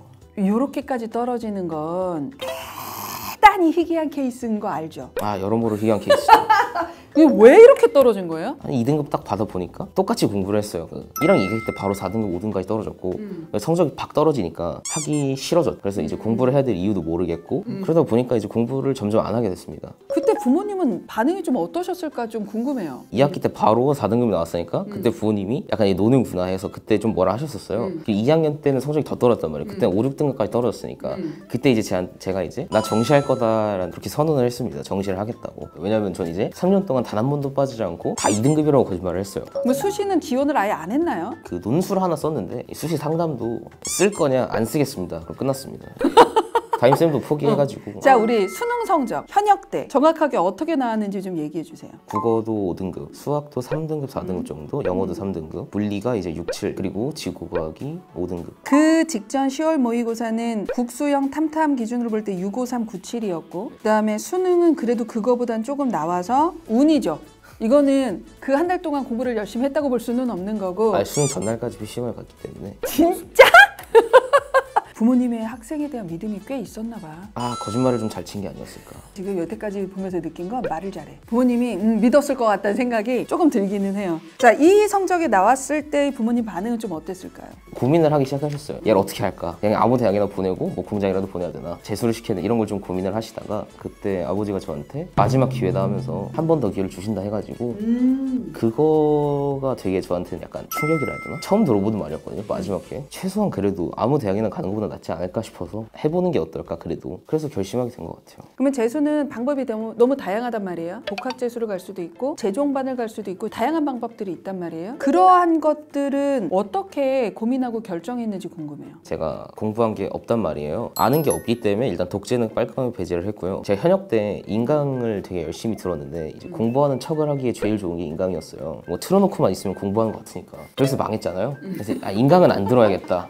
그리고 이제 주변 환경의 영향을 좀 많이 받아요 제가. 좀 분위기가 필요한 학원 좀 단속이 그런 걸 찾아봐야 되다 보니까 그래서 이제 기숙 쪽을 생각을 하게 됐고 그래서 이제 수업이 있는 재종 기숙 쪽으로 선택을 하게 됐어요. 근데 이제 문제점은 뭐냐면 나 이제 진짜 열심히 해야 돼 하고 한 달은 버틸 수 있어요. 근데 그 이후까지 지속적으로 쭉 간다는 건 조금 차원이 다른 문제거든요. 이거 어떻게 버텼는지 너무 궁금해. 그 부분이 솔직히 저는 가장 궁금하거든요. 한 달 남짓 하는 기간 동안 눈치 보이는 그 기간을 보냈는데 그때 제가 3년 동안 성적 한 번도 안 보여드리고 거짓말만 하다 보니까 좀 싫어져가지고 그 부분들이 그쪽으로 어떻게든 안 가려고 하는 이건 진짜 싫다 난 이렇게는 더 이상 하고 싶지 않다 라는 그런 좀 확실한 동기도 있었고 더군다나 이제 제가 가장 첫 번째로 연습했던 게 이제 공부 습관 잡는 걸 가장 먼저 연습을 했어요 맞아. 그게 재수 생활의 시작이자 끝이야. 그러니까 습관과 공부에 감정을 갖지 않게 되는 지경에 이르르는 것. 이것만 되면 시간의 문제지 성적은 무조건 오르게 돼 있거든요. 어떤 학생들은 재수를 하면 좋겠다라고 추천할 수 있는 유형이나 어떤 생각들 같은 게 좀 있을까요? 확실한 이유가 있는 그런 학생들에게 좀 추천을 하고 싶고 지친단 말이에요 1년이란 프로젝트니까 간절한 마음이라 해야 되나? 그게 제일 중요한 것 같습니다 저는 그런 마음을 가지고 있는 학생들이라면 성적대가 어떻든 저도 8등급이었으니까 성적대가 어떻든 재수 한번 시도해 보는 거 추천드립니다 그러면 어느 시점이 되면 이런 프로그램에 나는 이러한 공부 방법이 같이 있는 게 좋아하는 나만의 노하우 같은 것도 어느 시점이 되면 혹 생기거든요. 규범 학생도 혹시 그렇게 한 나만의 공부 노하우나 이런 게 좀 있었을까요? 답지를 안 보고 제가 스스로 풀기 위해서 좀 노력을 했었고 이제 문제 같은 것도 기출 문제 위주로 공부를 했었는데 문제집만 딱 들고 다니면서 모르는 문제는 한 10분 정도만 고민하고 넘어갔던 것 같아요. 일단 책을 한 권 다 보는 게 중요하니까 그리고 이제 2회독, 3회독 하면서 모르는 문제들 한 번 다시 도전해보고 모르는 채로 하루에 10분씩 제가 최대로 한 10며칠, 12일, 14일, 거의 2주 정도 고민해 본 문제들도 있는데 갑자기 어 이건가 하는 생각이 들 때가 있어요. 그냥 아 잠깐만 이게 이거였네? 유레카하는 어, 게 있죠. 그런 문제를 그렇게 풀어낸다. 그러면 이제 그 문제는 절대 안 까먹고. 그리고 그날 수업에서도 수업을 해주면서 여러 가지를 막 알려주는데 좋은 것들이 있어요. 되게 아 저렇게도 해석이 가능하구나. 아 이렇게 하면 계산을 적게 하는구나. 이런 상황들이 있단 말이에요. 그런 것들을 근데 배워봤자 까먹을 수도 있어요. 그런 걸 좀 막기 위해서 저는 이제 플래너를 작성을 했었는데 플래너 앞부분에 달력 부분 있잖아요. 거기다 가 그날 공부한 시간 적고 그 밑에다가 그날 배운 걸 요약을 해서 개념을 적었어요. 그렇게 해서 난 오늘 하루 이거라도 남겨가겠다. 1월부터 그걸 했으니까 1년 동안 다 하고 나서 보니까 거의 300개, 400개 가까이 채워져 있더라고요. 그거 보면서 이제 아 나 이런 거 배웠었지 하면서 그런 것들이 전 잘 도움이 됐던 것 같아요. 쭉 보니까 세 가지야. 자기 객관화 워낙 잘 했고, 그 다음에 본인에게 잘 맞는 공부 방법을 선택해서 강한 교육을 가고, 그 다음에 세 번째는 깨달은 방법 자체도 성적이 오를 수밖에 없는 방법. 이거를 셋 다 가지고 있었던 케이스. 케이스였던 것 같아요. 그러면 이렇게 공부해서 일단 모의고사 얘기부터 한번 해볼게요. 3월 모의고사는 어떻게 나왔을까요? 그때 국어도 한 3등급 선, 영, 음. 수학도 2등급, 영어도 2등급, 물리는 6등급, 5, 6등급, 다, 음. 지구과학은 3등급 정도 나왔었어요. 그리고 이제 6월 때 되게 긴장을 했었는지 국어 4등급, 수학도 3등급, 음. 영어 3, 물리는 안 오르더라고요. 5등급, 지구과학도 3등급. 9월 때 좀 올랐어요. 국어도 2등급, 수학도 거의 1, 2등급 선까지 나왔던 것 같고, 음. 영어도 2등급, 탐구는 여전히 5등급에 3등급 네, 이렇게 음. 나왔었어요. 아무리 수능 때 잘 나온 친구들도 모의고사는 한 번은 삐끗하거나 한두 번은 삐끗하는 건 그냥 누구나 있는 일이거든요. 재수 생활은 슬럼프가 없는 친구는 없어요. 그 슬럼프를 좀 현명하게 넘긴 거네. 9월 모의고사 성적을 보면 그 노하우가 뭐예요? 제가 상담을 한번 받으러 간 적이 있는데 공부 관련 상담이 아니고 심리 상담을 받으러 간 적이 있어요. 그때 들었던 말이 조금 도움이 됐어요. 저는 내려갈 때도 있고 올라갈 때도 있는데 이렇게 버티려고 하면은 내려갔다가 올라올 때 가속이 안 붙는다고 하던 대로 하는 것도 괜찮을 것 같다는 얘기를 들었었었는데 그때 마음 을 먹었던 건 이제 안 되는 거 막 어떻게든 임지 풀어야겠다 아니면 뭐 짜증을 내기보다 재수 초반에 했던 것처럼 눈앞에 문제집 있고 풀고 밥 먹으니까 밥 먹고 약간 좀 생각을 좀 비웠다고 해야 되나 이렇게 좀 진행을 했던 것 같아요. 중요한 노하우입니다. 버티셔야 돼요. 그래서 2023 학년도 수능은 결과가 어땠을까요? 국어가 3등급, 수학이랑 영어는 다 2등급, 그리고 마지막으로 탐구, 물리랑 지구학은 다 1등급으로 이제 마무리를 했습니다. 자, 그러면 요 수능 성적으로 가나다군 어떻게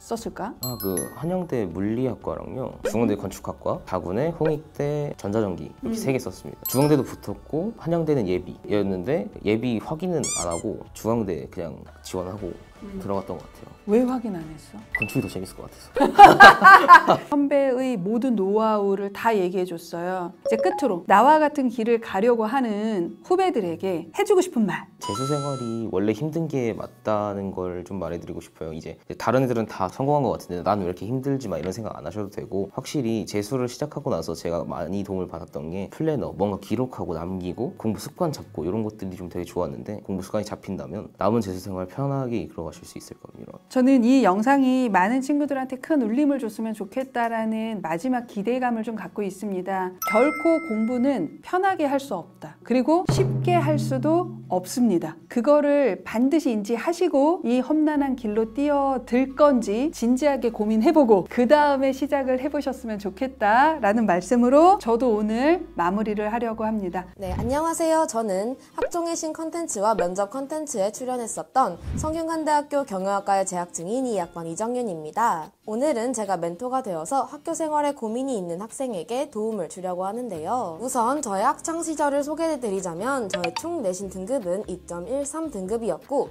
중앙대학교 수석 합격 그리고 성균관대학교를 합격하여 현재 성균관대학교 경영학과에 재학 중에 있습니다. 저는 사실 1학년 때는 생기부를 어떻게 잘 써야 될지도 모르겠고 또 공부하는 방법에 대해서도 잘 몰라서 고민이 많았고 또 단술 서술을 좀 더 많이 했던 것 같은데요. 제가 현재 다니고 있는 경영학과를 지망하는 학생이 오늘 멘티로 나오게 되었다고 하는데요. 저도 똑같은 고민을 가지고 선배들에게 도움을 받기도 했었기 때문에 멘티에게 실질적인 도움을 줄 수 있을 것 같습니다.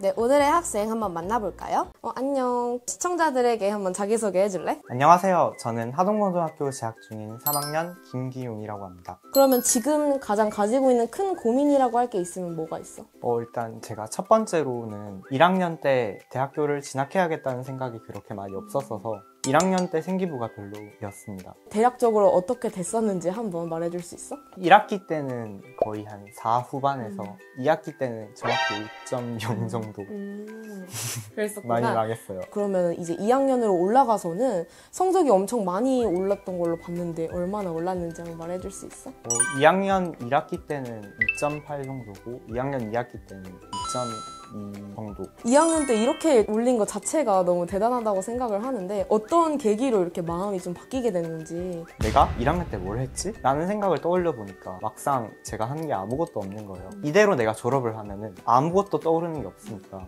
이 고등학교를 다니면서 할 수 있는 최선은 지금은 공부를 해서 환경을 바꾸는 게 우선이지 않을까 라는 생각을 해서 그때부터 공부를 시작하게 된 것 같아요.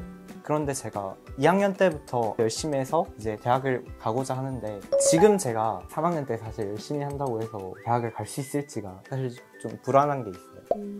2학년 때부터 본격적으로 시작했다 보니까 아무래도 더 불안감이 있을 것 같은데 일단은 무조건 끝까지 해라 라고 말을 하고 싶은 게 나도 2학년 때 특히 2.4였다가 3학년 때는 그래도 1.5까지 올린 그런 케이스인 만큼 2학년 때부터 이렇게 챙기고 성균관 대학교에 입학을 했으니까 포기를 하기에는 그래도 2학년 때 열심히 싸운 것도 있고 3학년 때 뭐 열심히 안 했을 것도 아니고 지금 이렇게 말을 하는 걸 보면 뭐 재수를 한다고 해도 생기부를 3년 동안 채운 것에 6장을 못 쓰는 건 너무 아까운 일이라고 생각을 해가지고 일단은 3학년에 끝까지 할 수 있는 만큼을 채우는 게 가장 좋지 않을까. 나도 그렇게 포기하지 않아서 이 결과를 얻은 거라고 생각해서 끝까지 하라고 일단 말을 해주고 싶어 그럼 이제 딱 지금의 시기에서 생기부에서 가장 구체적인 고민이 어떤 게 있는지 말해줄 수 있어? 지금까지 탐구한 걸로는 많이 부족해 보여서 심층성을 챙기기 위해서는 어떠한 활동을 어떤 식으로 진행을 해야 심층성을 챙길 수 있을지 관련해서 추가로 조언을 조금 얻고 싶어요. 그러면 1학년 때 생기부는 또 어떻게 작성을 했었어? 딱히 생기부를 잘 챙겨야겠다라는 생각은 안한것 같아요. 뭐 선생님들이 어떤 어떤 이야기를 하면은 그냥 그때그때 떠오르는 거를 말을 많이 하거나 작성해서 그냥 이야기를 했던 것 같아요. 2학년 때는 어떻게 생기부 챙겼어? 대표적으로는 ESG 제일 유명한 주제 택했고 마케팅과 심리학 관련해서 탐구를 했던 것 같아요. 생기부에서 조금 심층성을 구하고 싶다라고 말을 했는데 독서를 한다던가 관련 논문을 찾아본다던가 하는데 이때 그냥 그 주제만 다룬다기보다는 좀 다른 과목이랑 연계를 해서 탐구를 해보면 좋을 것 같고 그래서 내 생기부에서는 정치와 법에서는 제조물 책임법이라는 게 있어. 그래서 그 주제를 가지고 기업이 조금 법에 대해서 어떻게 지켜야 되는지 이런 것들을 조금 화- 확인해 보면서 법이랑 기업의 경영을 조금 이었던 것 같고 계약에 관련해서도 정치와 법에서 나오는 데 기업이 이제 고용자한테 계약을 같이 할 때 어떤 식으로 해야 또 법을 위반하지 않고 잘 경영할 수 있는지 이런 식으로 내가 조금 어려운 주제더라도 주제에 관련해서 진짜 이 실제 사회에 어떻게 적용되고 있는지를 다양한 과목을 이용해서 탐구해보면 좋을 것 같다는 그런 생각이 있어. 동아리 활동 같은 경우에는 일단 제가 부장이긴 한데 동아리를 어떻게 운영해야 잘 운영을 했다고 볼 수 있을지 가늠이 잘 안 가서 아무래도 이제 3학년이 되면은 정시로 돌리는 친구들도 많고 정말 이 동아리를 하고자 하는 사람들은 정말 소수라서 사람들을 데리고 하기가 조금 많이 어렵지. 그래서 나는 그거를 문제점을 시작해서 동아리 활동을 했던 것 같아. 첫 번째로 접근법이 이론이라고 생각을 해가지고 너가 아직 다가가 보지 않은 주제에 대해서 찾아본다던가 그런 식으로 해보면 좋을 것 같고 서로 이제 읽은 책 같은 거를 독서로 공유한다든지 최대한 혼자서 아니면 소수가 할 수 있는 활동이 뭔지를 고민을 해보면 좋을 것 같아. 나는 일단 어떻게 내가 리더로서 좋은 성과를 낼 수 있을까가 첫 번째 고민에서 시작을 했고 그래서 나는 이제 에치오니의 조직행동 이론이라는 그런 이론을 조금 공부를 했었거든. 다양한 주제를 다루는 것 자체만으로도 의미 있는 탐구가 될 수 있으니까 그렇게 다가가 보면 좋을 것 같아. 어, 이렇게 생기부나 동아리 뭐 등등에 관련해서 얘기를 좀 해봤는데 그래도 어느 정도 도움이 된 것 같니? 아, 네.